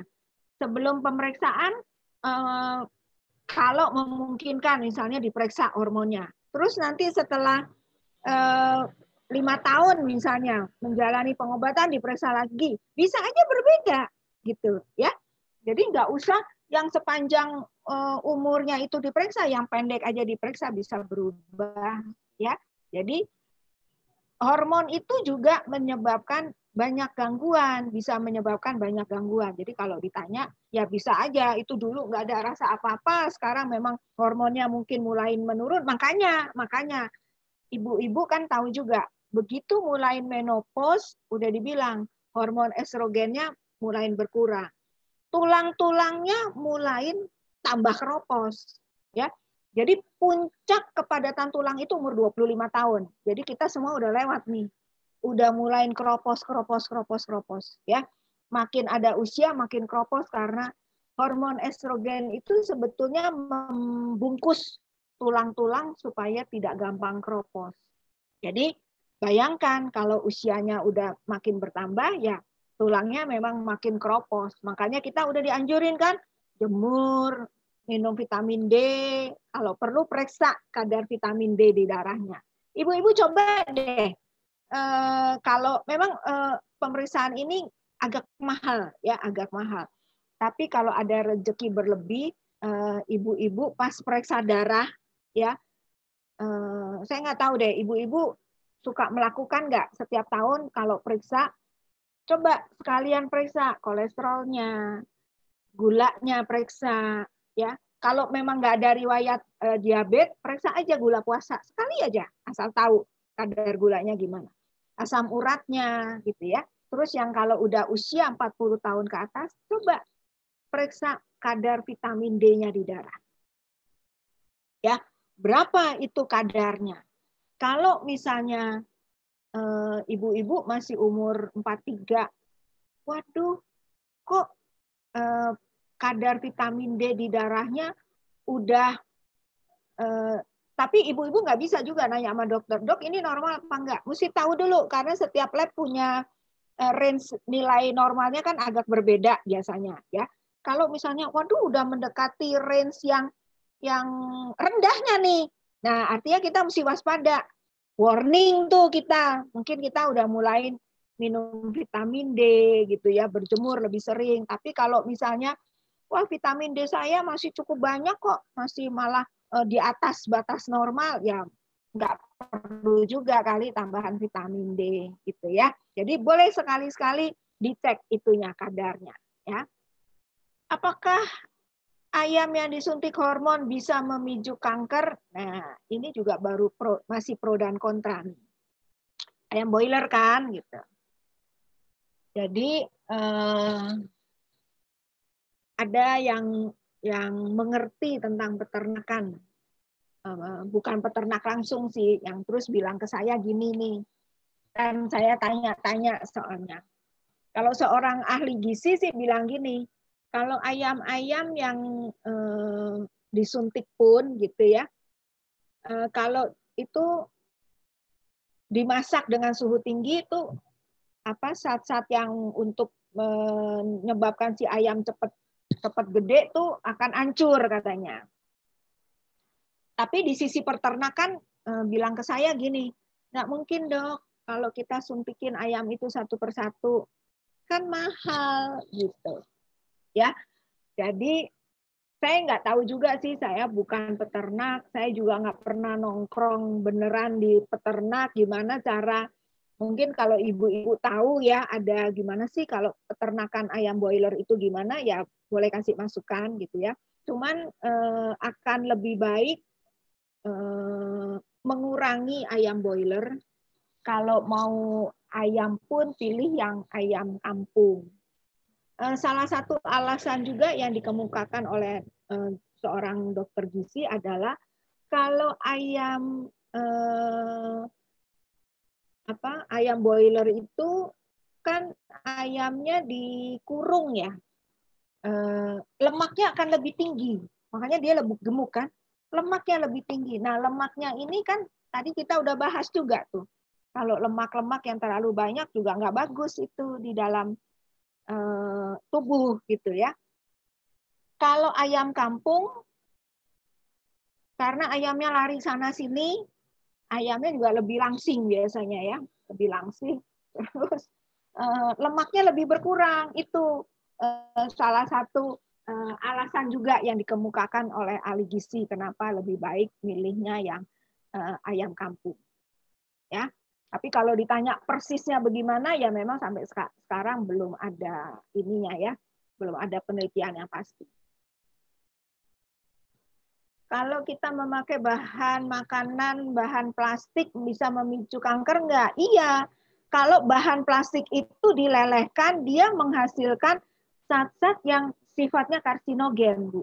Tapi kalau eh, bahan plastik ini tidak leleh, ya maksudnya untuk menyimpan eh, makanan dingin, misalnya taruh di kulkas gitu ya, Tupperware, saya rasa nggak apa-apa karena dia ya diam aja plastiknya. Tapi kalau uh, makanan panas, nah itu dianggap plastiknya bisa leleh. Itu yang bahaya Bu kalau plastiknya leleh. Apakah benar radiasi ponsel dan jika kita melihat HP dalam kegelapan bisa menyebabkan kanker mata? Eh, nggak ada hubungannya sebetulnya, tapi bisa merusak mata ya, merusak penglihatan ya, tapi untuk ke kanker mata enggak. Kanker mata yang tersering itu adalah eh, namanya retinoblastoma. Jadi kankernya pada retinanya mata dan itu biasanya pada anak di bawah usia lima tahun. Jadi dari bayi sampai lima tahun. Eh, sampai saat ini belum ada dewasa yang Eh, menderita retinoblastoma itu belum ada. Jadi kalau ditanya nih kalau kita baca HP gelap eh, bukan kalau kalau eh, memang belum ada penelitian lagi ya, belum ada penelitian yang membuktikan dan memang belum rasanya belum ada kasus. Mudah-mudahan janganlah ya. Kalau kita gelap gitu kita eh, lihat HP, mata kita harus eh, melakukan akomodasinya kuat banget. Jadi yang lebih rusak duluan mah penglihatannya, fungsi penglihatannya sebelum jadi kanker gitu. Ya. Jadi belum belum ada penelitian yang ini benar gitu, ilmiahnya belum bisa dibuktikan. Termasuk yang bilang HP bisa menyebabkan kanker otak itu belum belum terbukti 100% gitu. Ya. Jadi eh, apa ya nggak bisa disebut gimana, belum bisa terbukti 100%. Gitu, Bu. Oke, Bu Dok. Ada lagi Ibu-ibu di sini yang mau tanya, Bu Yeni? Silakan. Mau nanya, mau sharing, boleh. boleh Ayo, ya. Bu. Dibuka suaranya, apa? Bu Yeni. Nah, udah. Halo semua, shalom. Halo, Bu Yeni. Ya, terima kasih Dokter Rebecca untuk sharingnya. Ya, saya cuma mau sharing begini dok, papa saya almarhum, uh -uh. itu dia mengalami kanker kolon. Hmm. Jadi saya tuh benar-benar takut banget lah yang namanya kanker ini, karena saya menyaksikan langsung bagaimana dia menderita uh, selama 9 bulan. Nah, terus kakak saya itu juga uh, mengalami apa? ada benjolan gitu loh dok di payudaranya. Cuman masih dari dokter sih baru tumor jinak katanya dan sudah di apa kayak apa sih kayak di di, di gitu ya dikeluarin cairannya seperti itu. Nah tadi kan penjelasan dari dokter Rebecca kalau uh, dari DNA itu sekian persen ya dok ya untuk ke kita lah anak-anaknya kalau emang orang tua terdiagnosa kanker. Nah, saya terus terang saya sudah melakukan pap smear dan mamografi juga dan puji Tuhan hasilnya sih baik, Dok. Baik. Ya, sudah dua kali. Nah, cuman terakhir ini memang dari dokter itu mengatakan uh, karena hasilnya itu baik, jadi hanya dianjurkan dua tahun satu kali aja. Itu bagaimana ya, Dok? Apa tetap saya ikutin itu? Apa sebaiknya? Ibu usianya berapa? Saya sekarang 55 tahun. 55. Iya. Uh, ini baru mamografi sekali. Uh, mamonya sekali, pap smearnya dua kali. Oh ya, yang setahun iya. sekali, eh, yang disuruh dua tahun sekali apa mamonya? Uh, uh, enggak, ininya pap smearnya dok. Oh, pap smearnya. Ya, karena waktu saya di mamo itu juga kan hasilnya baik, jadi dokternya hmm. juga nggak bilang apa-apa sih. Kalau yang pap smear aja, karena saya sudah rutin dua kali, nah setelah itu dia baca hasilnya oh apa apa ibu kalau gitu nanti dua tahun lagi aja baru kontrol lagi seperti itu ya uh, kalau ini yang saya bilang jadi secara gen uh, mungkin diturunkan gen penyebab kankernya. Jadi kalau misalnya ada orang tuanya yang uh, terdiagnosa kanker kanker ya. apa pun berarti anak-anak cucu harus lebih waspada ya. Kalau anaknya yang wanita, tetap tetap kita mikirnya eh, karena paling tinggi kasus kan payudara. Jadi tetap lakukan deteksi dininya kanker payudara, kanker serviks, terus periksa semuanya termasuk karena orang tuanya kanker kolon, sebaiknya ada pemeriksaan deteksi untuk kanker kolonnya. Oh, ya, gitu. kenapa? Tadi saya bilang kan kanker itu makan waktu lama, ya kan? Nah, ya. kalau kanker kolon ini lebih juga karena faktor selain faktor genetik, faktor pola makan ya. erat hubungannya. Betul. Dari mana? Dari biasanya eh, susah buang air besar biasanya. Hmm. Nah, biasanya tuh kalau kita karena gini, kalau dalam suatu keluarga makan kan bareng-bareng ya nggak ada iya. kan ya paling kasus-kasus tertentu misalnya e, ibunya makannya soto bapaknya makannya ayam goreng terus anaknya makannya lain-lain lagi jarang banget kan jadi masaknya apa makannya rame-rame jadi biasanya otomatis kalau e, ibunya misalnya nggak suka sayur nggak akan ada sayur di meja makan benar nggak Iya kan? Iya. Kecuali suaminya benar-benar pokoknya kalau nggak ada sayur saya nggak mau makan. Nah baru deh gitu ya. Jadi pengaruh juga tuh dari orang tua. Bagaimana menyediakan makanan. Jadi biasanya saya nggak tahu nih makanya ayahnya dulu apakah termasuk orang yang tidak suka sayur hmm. atau sehingga buang air besarnya susah, hmm. makanya jadi eh, menjadi kanker kolon bisa juga atau memang karena ada faktor lain. Nah, deteksi dininya untuk kanker kolon apa? itu harus diteropong ususnya. Hmm. Ya, jadi harus diteropong karena kanker usus besar ini bukan seperti kanker payudara yang kita bisa periksa sendiri hmm. melalui sadari. Ya kan Bu Grace ya, sebetulnya kita harus lakukan sadari. Apakah teraba benjolan atau enggak. Usus nggak bisa, mesti diteropong, mesti ada alatnya. Sama hmm. kayak serviks sebetulnya. Nggak bisa periksa sendiri mau dirogoh-rogoh gimana juga nggak nyampe ke serviksnya, nggak bisa lihat. Hmm. Jadi mesti dipapsi. Ya. Jadi sekali-sekali kalau menurut saya, Bu Yeni, coba lakukan pemeriksaan juga namanya kolonoskopi. Hmm. Atau kalau nggak mau di kolonoskopi dulu, pemeriksaannya melalui namanya darah samar. Darah samar itu bukan darahnya yang diperiksa, tapi dari fesesnya. Fesesnya hmm. diambil, bawa ke lab dalam waktu tiga jam harus. Labnya kayaknya mesti lab gede. Terus bilang, ehm, saya mau periksa darah samar. Hmm. Tapi itu periksanya dari fesesnya. Kalau dia positif, harus deh itu di kolonoskopi harus dilihat ya. Hmm. Jadi kalau di kolonoskopi di teropong itu bisa dilihat Bu uh, ada kondisi yang namanya polip. Polip tuh ada kayak daging timbul gitu ya hmm. di dinding ususnya. Nah, polip-polip ini uh, diambilin kalau memang waktu diteropong kelihatan.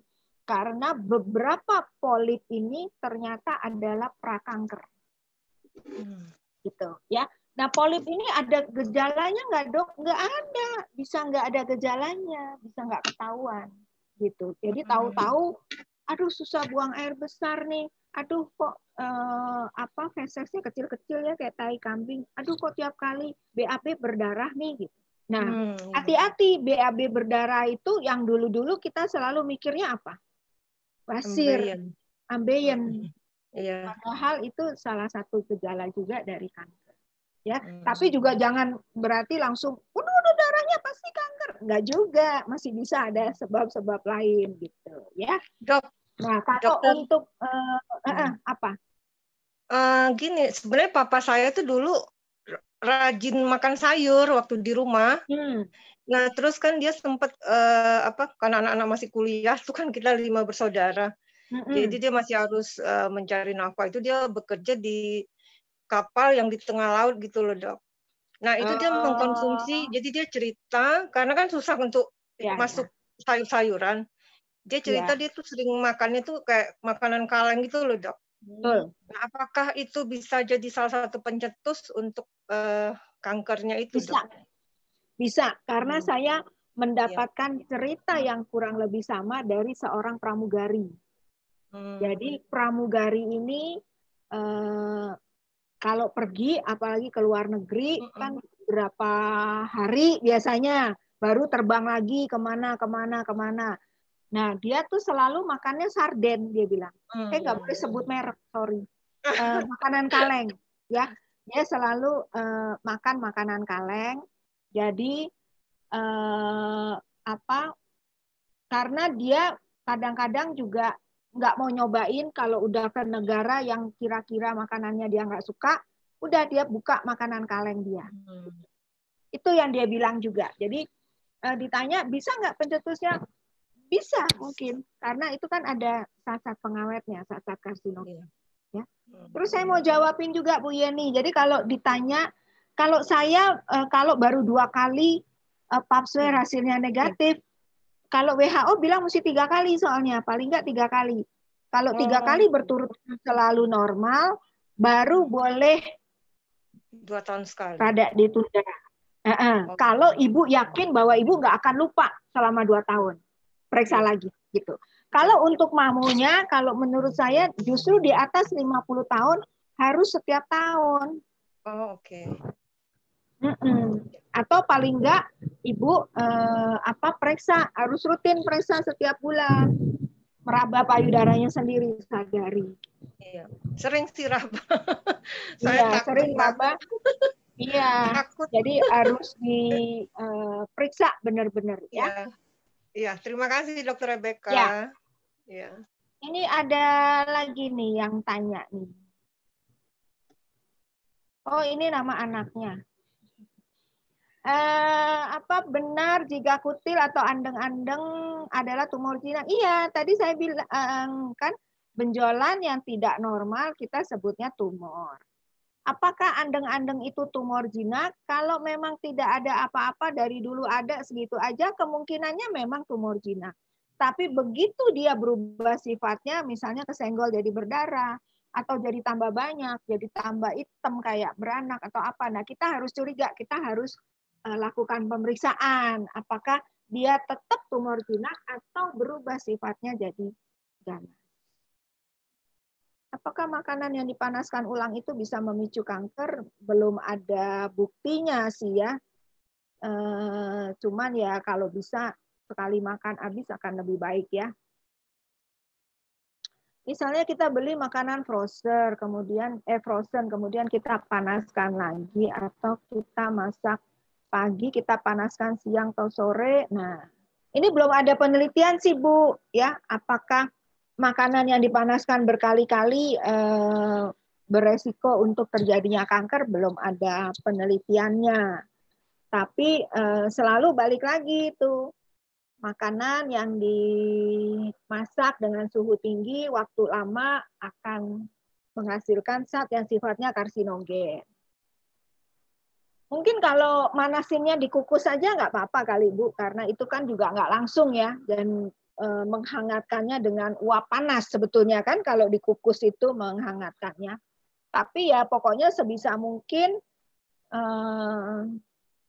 makanan ya sekali makan kalau bisa e, habis ya. Atau kalau sayuran, saya sih lebih milih kalau sayuran e, misalnya nggak habis dimakan siang malamnya saya nggak nggak panas saya nggak panasin nggak saya angetin ya udah makan dingin aja kalau sayuran ya paling yang saya angetin nasinya aja misalnya atau kan nasinya anget juga hangat oke Bu Dok Bu Eli Vera Bu Eli Vera mau nanya Bu Eli dibuka kameranya dulu dinyalakan Mama Keiko juga di uh, Bu Catherine Dibuka kameranya. Bu Eli, silakan Bu Eli. Aduh, mukanya nggak kelihatan, Bu. Backgroundnya terlalu menutupi. Tadi dipakai Jadi aja mereka harus pakai backgroundnya dihapuskan dulu lah, itu nggak kelihatan muka. Ah, sudah, udah, udah, udah. Ketahuan rambut baru dia. iya. Silakan Bu El.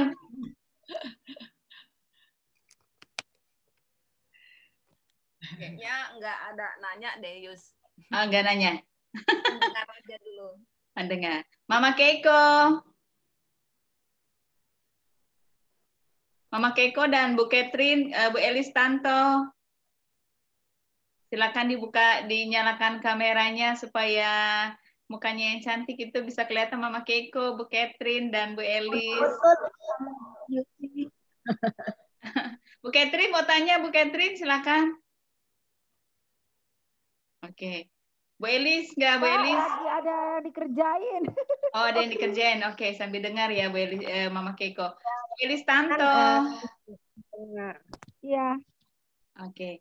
Bu, Bu dokter ada yang nanya juga nih Bu. Katanya kalau memanaskan makanan, eh beli makanan terus taruh di styrofoam itu, itu berbahaya nggak dok? Uh, iya.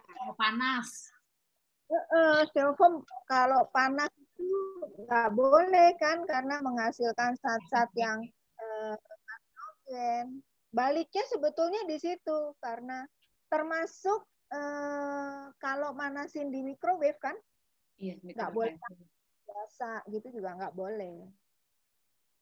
Harus uh, apa? Kaca ya kalau di microwave kan juga udah ditulis harus kaca gitu. termasuk makanan dalam kantong plastik kalau sop-sop gitu kan biasanya suka iya panas. Iya panas. Oh iya benar-benar sebetulnya iya. eh, sekali-sekali sih nggak apa-apa gitu ya. Memang sebetulnya kalau zaman dulu sih lebih sehat ya. Kalau kita beli makanan kita kudu bawa rantang sendiri gitu. E -e, pokoknya kita eh, ininya baik. Tapi ya kalau terpaksa ya udah sampai rumah langsung diganti. Oh. dan sekali-sekali kan? Iya ya oke. Okay. kita uh, boleh tanya ya? prinsipnya gini kita berusaha makan sehat uh, tapi juga jangan uh, yang udah misalnya terlanjur dimakan jadi beban pikiran kita. Iya. Yeah. makan ini salah aduh ntar jadi kanker deh ini. Jangan juga begitu. Kita udah tahu nih sekarang ilmunya kita dapat gitu ya terus kita udah tahu. Hmm. terus eh, apa kita harus berusaha ya udah kalau kita udah berusaha sehat eh, sekali-sekali nyeleweng istilahnya. Ya udahlah gitu. Kita eh, nggak uh, usah jadi beban pikiran kita yang terlalu juga karena nggak bagus juga kan. Jadinya kita nggak bahagia hidupnya jadinya terbebani oleh pikiran-pikiran negatif jangan juga gitu. Tapi kita berusaha udah tahu sekarang terus kita berusaha juga untuk keluarga eh, mendapatkan yang terbaik yang sudah bisa kita kerjakan. Kalau akhirnya akhirnya kena kanker juga masih bisa nggak begitu? Bisa ya kan? Nah saya biasanya suka kita lakukan semuanya yang terbaik yang bisa kita lakukan. Kita udah tahu, kita nggak boleh ini, ini, ini. Kita kurangi. Nggak boleh artinya nggak boleh merokok. Itu kan udah tahu ini. Uh, itu sih merokok udah bukan mengurangi. Nggak boleh beneran. Tapi kalau makanan-makanan lain kita masih bilang semua boleh. Tapi ada yang harus beneran dikurangi. ya Kalau bisa uh, jangan dimakan gitu kan. Uh, tapi kalau ini banget kayak misalnya eh, tadi ya french fries gitu. Kan kita udah tahu nggak bagus tuh sebetulnya. Tapi kalau sekali-sekali terus diajak makan sama Bu Yusti ke Kentucky masa kita nggak makan gitu ya? Atau pestanya di mana? Ya nggak apa-apa makan sedikit gitu. Tapi eh, selebihnya kan kita berusaha hidup sehat. Sayur banyak buah banyak minum air putih banyak. Selanjutnya apa? Yang paling penting adalah berdoa kalau menurut saya. Kita berdoa, kita serahkan. Tuhan yang punya uh, hidup kita kan. Kalaupun dia mengizinkan kita mengalami sesuatu yang tidak kita harapkan, pasti dia punya rencana. Betul ya Bu Grace ya? Betul. Betul. Iya. Jadi kalau memang Tuhan izinkan itu terjadi dalam hidup kita, artinya Tuhan sudah pilih kita. Tuhan menganggap kita kuat untuk menghadapi itu semua dan kita bisa. Itu selebih. Saya rasa itu yang bisa saya sampaikan. Bu Grace, tadi mau nanya Bu Grace. Ya, uh, Bu Dokter, waktu uh, apa dalam kasus saya, Bu Dokter, uh, setelah hasil dari apa uh, mamograf waktu itu keluar dan USG juga, lalu dari hasil itu didiagnosa uh, adanya uh, sel kanker. Pada waktu dokter uh, onkolognya melakukan pemeriksaan fisik, itu juga dia katanya tidak tidak bisa menemukan benjolan. Jadi katanya eh, apa eh, itu ter apa benjolan itu masuk dalam kategori yang tidak apa tidak teraba katanya. Jadi eh, berarti sebaiknya selain kita setiap bulan rutin melakukan sadari Berarti tetap yang paling akurat itu dengan screening ya dok ya? Mamografi. Iya, tetap dengan alat alat mamografi. Untuk usia di atas 40 tahun mamografi. Jadi ah. tujuannya menemukan yang belum jadi benjolan gitu. Iya. Tetap harus uh, rutin satu tahun sekali ya dok? Ya, ya. Sebaiknya ya. Oke, terima kasih dok. Dok, dari aku dok, uh, aku tuh sampai sekarang nih uh, sekarang sih uh, udah mendingan ya. Tapi yang dulu tuh dok, aku tuh kalau setiap kali mau datang bulan menstruasi itu aku sering uh, dan itu aku dari SMA dok. Keluar hmm. kayak benjolan gitu ada dok. Tapi hmm. kalau habis mens gitu hilang gitu dok. Itu gimana tuh dok? Uh, itu biasanya karena pengaruh hormon. Makanya kita selalu bilang kalau periksa payudara jangan menjelang mens karena kelenjar-kelenjarnya memang memadat karena pengaruh hormon. Jadi yang sebetulnya bukan benjolan jadi kerabanya seperti benjolan. Jadi makanya kalau misalnya tiba-tiba keraba nih. Terus uh, Bu Justi tadi kan bilang keraba. Uh, terus ingat-ingat eh tapi ini udah mau mens kok aku. Nah, periksa setelah mens. Hmm. Eh hilang kok nggak ada kok gitu. Bulan depan coba periksa lagi oh benar kok adanya tiap kali mau mens aja. Setelah mens hilang ya udah nggak apa-apa biasanya. Tapi tetap lebih baik periksa kalau usianya udah di atas 40 tahun ya. Jadi kalau ada perubahan-perubahan sebelum jadi benjolan yang kita bilang stadium prakanker itu bisa ketahuannya dari mamografi.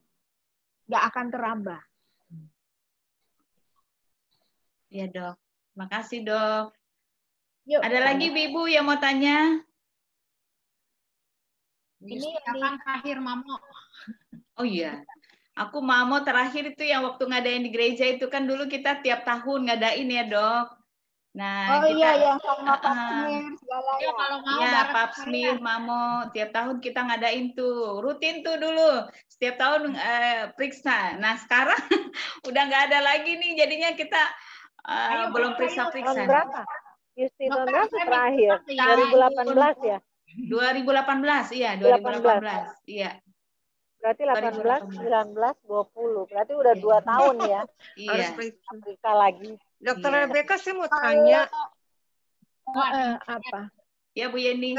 Tadi yang menyambung pertanyaannya Bu Yusti. Jadi hmm. sebaiknya periksa payudara itu kapan ya dok? Sebelum menstruasi atau sesudah sesudah Setelah kelamin. Uh -uh. Oh oke. Okay. Kalau Baik. yang misalnya ada orang kan yang uh, apa mensnya lama misalnya, kadang-kadang ada yang nanya, dok uh -huh. jadi kapan? Uh, paling cepat, paling cepat uh, periksa payudara yang oke okay itu hari keempat. Jadi walaupun masih mens oh. pun, tapi udah hari keempat keluar sih masih oke. Okay. Dianggap payudaranya udah mulai lunak gitu. Hmm. Tapi kalau bisa sih kalau udah bersih gitu. Tapi kalau misalnya hmm kayak aduh saya nggak mau ketinggalan saya nanti ketinggalan hmm. nih udah rame-rame misalnya yang lainnya hmm. pada pergi ikut periksa gitu tapi hari hmm. keempat hmm. aja boleh walaupun masih mes gitu ya uh, boleh boleh hmm. aja kalau mau ke YKI kita sih sekarang juga uh, udah terima mamografi segala. Ini uh, petugasnya kita pakai APD juga gitu ya. Hmm. Uh, minggu depan ke sana. Tapi uh, ya itu janjian. Biayanya berapa itu dok? Tiga ratus ribu. Mamografi tiga ratus lima puluh ribu kalau di itu. Uh. Okay. Lebih murah Bu Ibu kalau di Darmes lebih mahal. Kamera ayo. Iya. Iya, benar. Benar. Boleh janjian ya, Aku kan udah mau napaus, berarti udah kapan aja ya? oh iya. Tetap harus periksa. Kalau iya, iya tetap periksa, tapi ya berarti kapan ya. aja kan? Karena kita udah nggak ya. mens lagi gitu. Kalau udah nggak mens lagi, Tetap kapan ya? aja? Uh, Ibu okay. lebih bebas. Ya. Gitu. Kapan aja? Iya. Bebas ya. di aku kapan aja yuk. Iya, iya, kita periksa ke itu yuk ke ya YKI ya, dekat banget kita Lebak Bulus ini kan. Iya, ya, sebetulnya dekat. Iya. Kalau mau gini, tapi kalau terlalu banyak, misalnya berlima berlima gitu supaya oh. tidak numpuk di YKI. Iya, YKI. Ya. Iya, iya. Itu masih zaman begini soalnya ya, masih ya, zaman pandemi. pandemi. Kalau udah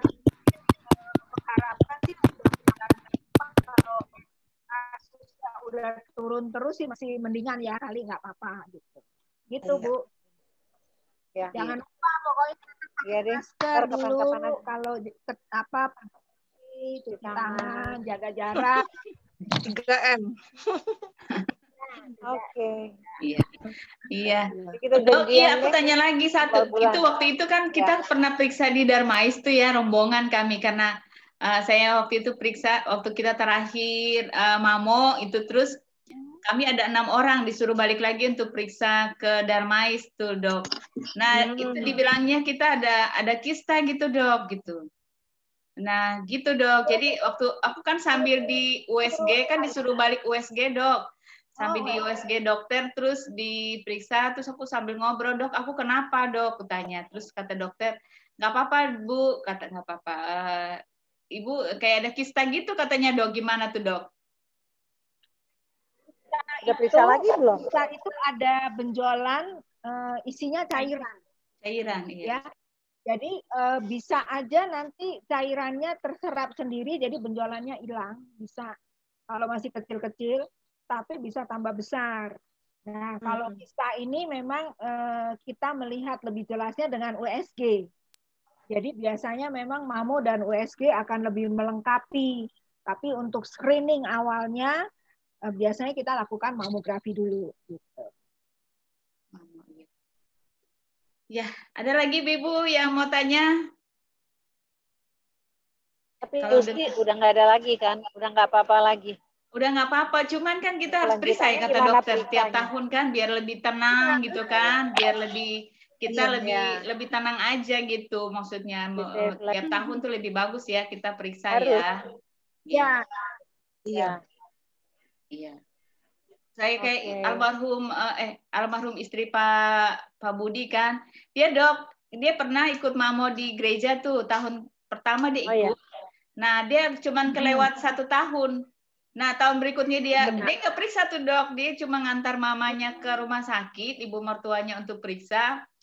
Nah, sekalian lah kata dokter kayak tadi dokter bilang ah sekalian ah saya mau check up juga. Nah, hmm, dia check up juga tuh. Ternyata hari itu dokter suruh harus cepat-cepat untuk operasi. Ternyata ada cancer di payudaranya, Dok. Hmm. Dan dia nggak ada gejala apa-apa dia cerita, Dok. Nah, Cuman karena mau ngantar mertuanya aja gitu, ya. Dok. Mm -mm. Bisa gitu ya, Dok? Iya, makanya nggak ada rasa sakit. Nggak ada rasa sakit, nggak ada apa. Nggak ada rasa sakit karena Takut juga ya. Iya. Ada rasa apa-apa. Rutin. Betulnya. Jadi jangan tunggu ada gejala kalau bisa. Iya, iya. Iya, Dok, benar. Harus sadari sendiri ya untuk kesehatan. Iya. Kan untuk Baik, untuk diri kita sendiri juga. Betul. Terus dok, kalau suami kita yang merokok nih dok, suami kita merokok, dia ya. curhat. Jadi ah, dia merokok, merokok. Dia dia kalau merokok saya suruh di luar gitu kan nggak boleh di dalam rumah ya. tapi bajunya kan dia kalau masuk ke dalam rumah kalau dia oh, mau tidur saya suruh ganti ganti dulu sikat gigi ya, dulu baru masuk kamar karena kan bahaya kan ya dok bawa rokok yang dia bawa Ketika dia ngerokok itu kan bahaya, Dok. Iya, asapnya juga masih kan. Kalau itu kan hawanya masih. Jadi uh, istri-istri yang uh, sebagai perokok pasif itu resiko untuk terjadinya kanker juga uh, ada meningkat gitu loh.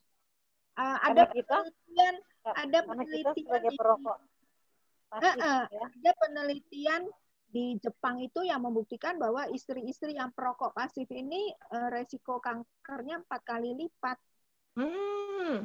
dibandingin perempuan yang uh, bukan perokok pasif gitu ya, bukan perokok, bukan perokok pasif. Gitu. Jadi resikonya, pasif. resikonya kena di mana itu dok? Bisa paru juga, bisa paru juga. Jadi ada uh, pasien kanker paru perempuan, dia nggak merokok, tapi suaminya hmm. perokok memang aktif. Suaminya malah nggak kena kanker. Dia hmm. yang kena itu. Kasihan ya. Terus uh, ya makanya ada yang seperti itu atau ada yang kena kanker payudara. Bisa juga. Betul. Jadi uh, ada hubungannya juga uh, rokok dengan kanker payudara. Bahaya Yusi kita berdua. dok, ya, dok, dok, saya mau tanya lagi dong. Ya, dok, saya mau tanya lagi. Maaf ya, banyak pertanyaan. Iya, ya Bu Yeni bagus. Ini kan saya udah umur 55 tahun nih, Dok. Tapi saya masih uh, menstruasi. Oh. Walaupun maksudnya nggak nggak normal lagi lah, masih sedikit dan paling cuma tiga hari gitulah. Hmm. Nah ini apakah pengaruhnya karena saya masih minum Diana itu ya dok? Oh iya, hormonal. Kenapa minum Diana bu? Karena saya takut hamil. gitu. Karena udah udah apakah mungkin masih bisa hamil apa bagaimana nih dok? Sebenarnya sih dari saya pribadi saya maunya stop gitu loh karena saya saya juga dengar pernah dengar baca berita eh, baca di di berita gitu kalau yang minum diana itu bisa menyebabkan kanker juga apa bagaimana ya dok? Uh, apa minum hormonal jangka panjang juga bisa menyebabkan kalau mesti pakai uh, alat kontrasepsi lain dulu bu sampai ibu oh. menopause. Oh gitu. Uh, Jadi di stop aja ya dok? Uh, kalau menurut kami biasanya uh, biasanya kami mengajukan untuk yang usia di atas 50 tahun masih mens tadinya terus ya. biasa yeah. kontrasepsi yang hormonal semua ya semua yang hormonal nggak hanya pil tapi misalnya yeah. gitu juga kan itu hormonal juga susuk yeah. itu kan juga hormonal Nah, itu kita anjurkan ganti dulu. Hmm. Ganti spiral atau suaminya yang pakai kondom gitu misalnya. Sampai benar-benar udah eh, menopause eh, baru aman gitu. Kalau udah hmm. meno. Jadi eh, nggak menonya setelah eh, sat, eh nggak headnya setelah setahun ya. Jadi jangan hmm. jangan yeah. yang Wah, nanti begini-begini lagi, Bu Yeni. Iya. Nggak mau. Yang gini-gini lagi? Aduh, sudah Jo. Jadi gitu, Bu. Jadi sampai yakin beneran udah menopause setahun. Biasanya kita bilang itu beneran udah menopause. Oh, oke. Okay. Baru boleh lepas, nggak pakai kontrasepsi. Gitu. Oh. Ya udah berarti Diananya saya stop ya mulai sekarang, Dok. Soalnya takut hamil. Iya, benar-benar Bu Yeni. Iya, namanya itu kan dari Tuhan kita nggak tahu ya. Ya. Iya, makasih dok. Makasih dokter. Ya. lagi. Uh, Bu dok, ini Bu Bu Bu Rafon suruh baca pertanyaannya. Apakah kanker itu berhubungan dengan kekebalan tubuh? Misalnya si A kekebalan tubuh bagus, makanan yang tidak ber, tidak for bintang pun tidak terserang. Tidak empat bintang pun tidak terserang kanker. Maksudnya gimana tuh dok? Kekebalan tubuh itu bisa berhubungan dengan kanker nggak dok? Uh, berhubungannya seperti ini. Tadi kan saya terangin. Jadi di dalam uh, sel darah, eh di dalam pembuluh darah kita ada bodi kita yang menyerang. Ya, jadi ada sel-sel kita yang menyerang uh, sel kanker itu. Ya, uh, hubungannya seperti itu. di dalam getah bening kita juga itu ada uh, antibodi yang menyerang sel-sel kanker yang bermunculan ya. Tapi kalau sel kankernya lebih banyak dari sel imun kita, sel imun kita kalah. Jadi hubungannya seperti itu. Kalau kekebalan tubuh kita uh, ada masalah, termasuk orang-orang yang punya autoimun, dia lebih rentan untuk terkena kanker. Ya, apakah pasti jadi kanker? Enggak juga, belum tentu. Ya, tapi saya menemukan paling tidak uh, yang saya kenal ada dua orang yang awalnya uh, apa ada penyakit autoimun, kemudiannya kena kanker. Yang satu kena kanker kelenjar getah bening, yang satu kena uh, kanker kulit. Ya, jadi memang orang-orang yang punya kelainan autoimun, resiko untuk terjadinya kanker lebih besar gitu. Hmm. Tapi tidak tidak ada hubungannya dengan satu jenis tertentu. Oke. Oke, Dok. Makanan instan mengandung warna ya, ya ada hubungannya dengan kanker, Pak. Pasti ya Indomie itu ya, Dok. Nggak boleh ya, Dok.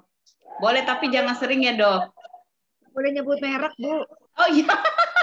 Makanan mie instan, mie instan maksudnya. instan recordingnya tersebar mesti hati-hati. Jangan instan maksudnya. Gak apa-apa sekali-sekali. Boleh sekali-sekali. Hujan-hujan gini ya. ya. Iya, emang benar. Kita be pakai rawit. Mantap. Ada mie yang versi uh, enak banget tuh, Dok. Ada yang versi sehat, mie-nya Ya. Oh iya. Ya, ada mie apa namanya lemonilo. Hmm. Oh, lemonilo. Katanya bukan MSG sih. Hmm. Oke. Okay. Ya. Ada lagi yang mau tanya Ibu-ibu? Gak ada? Terima kasih ya sudah mendengarkan iya. Bu Dokter, ya, terima kasih banyak dokter. kita mengucapkan untuk Bu Dokter hari ini sudah sudah uh, apa sharing berbagi tentang ilmu berbagi ilmu bagi kami semua ibu-ibu ya. dan rekaman ini juga pasti uh, bermanfaat buat ibu-ibu yang hari ini nggak bisa join mereka bisa ikut rekamannya dok Terima kasih untuk waktunya. Jangan bosan-bosan ya, Bu Dok. Selalu kita ganggu loh, Ibu-ibu, Bu Dokter. kita ketemu di sana ya. Iya. Kita ketemu di DKI. Bu Dok, jangan dulu keluar. Belum, belum selesai. ya, jadi tiap saat kalau apa-apa, Bu Dokter, selalu Bu Dok, Bu Dok, Bu Dok, selalu Bu Dokter. Bu Dokter Rebecca yang selalu uh, berbaik hati dokter untuk hati. ya sehat selalu dokter ya benar. Doa kami dokter selalu sehat. selalu sehat-sehat terus dokter. Ya terus dipakai Tuhan tuh jadi berkat buat banyak orang Amin. ya Bu Dok. Dan Amin. jangan bosan-bosan kalau kita ganggu lagi Bu Dok. Bagi lagi dok. Sharing lagi tentang uh, kesehatan buat ilmu, kita ilmu yang baru. Ya uh, supaya kita lebih tahu lebih sadari lebih oh ya lebih care ya lebih care lebih care hmm. tentang bahaya kanker ini ya. Kalau dengar bahaya kanker itu kalau dengar teman kita waduh kena kanker. Kita langsung takut gitu ya aduh langsung parno gitu. Langsung pegang-pegang dari tubuh kita. Aduh gitu ya kan. Ya gitulah jadi hmm. lebih sadari di sadari di dini ya dok ya. Lebih penting ya dok. Ya dan ibu-ibu jangan lupa kalau belanja ke Indomaret ada pesan sponsor. Ya, ibu jangan lupa berdonasi untuk Yayasan Kanker Indonesia. Seberapa pun ibu-ibu belanja, ya. ya. Sedikit demi sedikit kita akan jadi bukit. Saya share gambarnya ke Bu Yusti ya. Iya. Bu Yusti. Baik, Bu Dok. Boleh? Iya. Boleh, Bu Dok. Oke. Okay. Oke. Okay. Terima kasih. Terima kasih banyak Bu Dokter. Tuhan Yesus memberkati Bu Dokter dalam kerja dan juga dalam keluarga pelayanan. Tuhan Yesus selalu memberkati. Bu Dokter, ya, gereja di GKI ya, Bu Dok? GKI, ya, GKI Bintaro ya, Dok? Saman Budi sebetulnya anggotanya. Oh, Saman Budi. Oh, iya. sama dengan saya dulu dong. Oh, gitu. Oh, iya. saya diberkati di situ. Ah, iya. Diberkati di situ Pendeta Setiawan. Oh, Iya. Saya sampai sekarang dari kecil karena orang tua saya di situ kan. Uh, ayah iya. saya dulu majelis di situ. Saya juga pernah majelis. Oh. Tapi Oh iya. Sampai sekarang, saya mertua di situ. Oh, mertua di situ. Masih? Iya. Sampai sekarang, iya. Iya, jangan kenal sama mertuanya. Siapa, Bu? Uh, Ibu Sutina Surya. Oh, Sutina Surya, enggak. Iya, dia yang rajin masak itu kok di GKI. Oh, yang biasa masak. Iya, sama ibu-ibu di situ. Ibu-ibu ya. Iya, okay. nanti sekali-sekali ke sana biar ketemu Dokter Rebecca. Iya. iya. Oke. Ya, okay. Bu, terima kasih Ibu semua untuk kehadirannya juga pada hari ini. Sudah join bersama. Sebelum kita tutup, kita doa dulu ya Ibu-Ibu. Kita ya. doa dulu. Ya, kita berdoa. Ya Allah, Bapak kami yang baik, kami bersyukur Tuhan untuk waktu ini kami sudah diberikan eh, pengetahuan yang lebih tentang bagaimana kami sebagai wanita untuk menjaga kesehatan kami. Kami bersyukur untuk waktu ini Tuhan dalam kesibukan yang kami punya, kami boleh tinggalkan itu untuk kami boleh mendengarkan sharing bersama pada siang hari ini. Tuhan, kami berdoa untuk Dr. Rebecca yang sudah memberikan waktunya untuk kami, ilmunya juga untuk kami pada siang hari ini. Tuhan memberkati Dr. Rebecca dalam kegiatannya, dalam pekerjaannya, dalam pelayanannya bersama dengan keluarga. Tuhan memberkati Bapak. Biarlah terus berkat Tuhan tercurah untuk Bu Dokter dan keluarga. Mereka selalu diberkati Tuhan dan Bu Dokter Rebecca semakin diberkati dan menjadi berkat bagi banyak orang.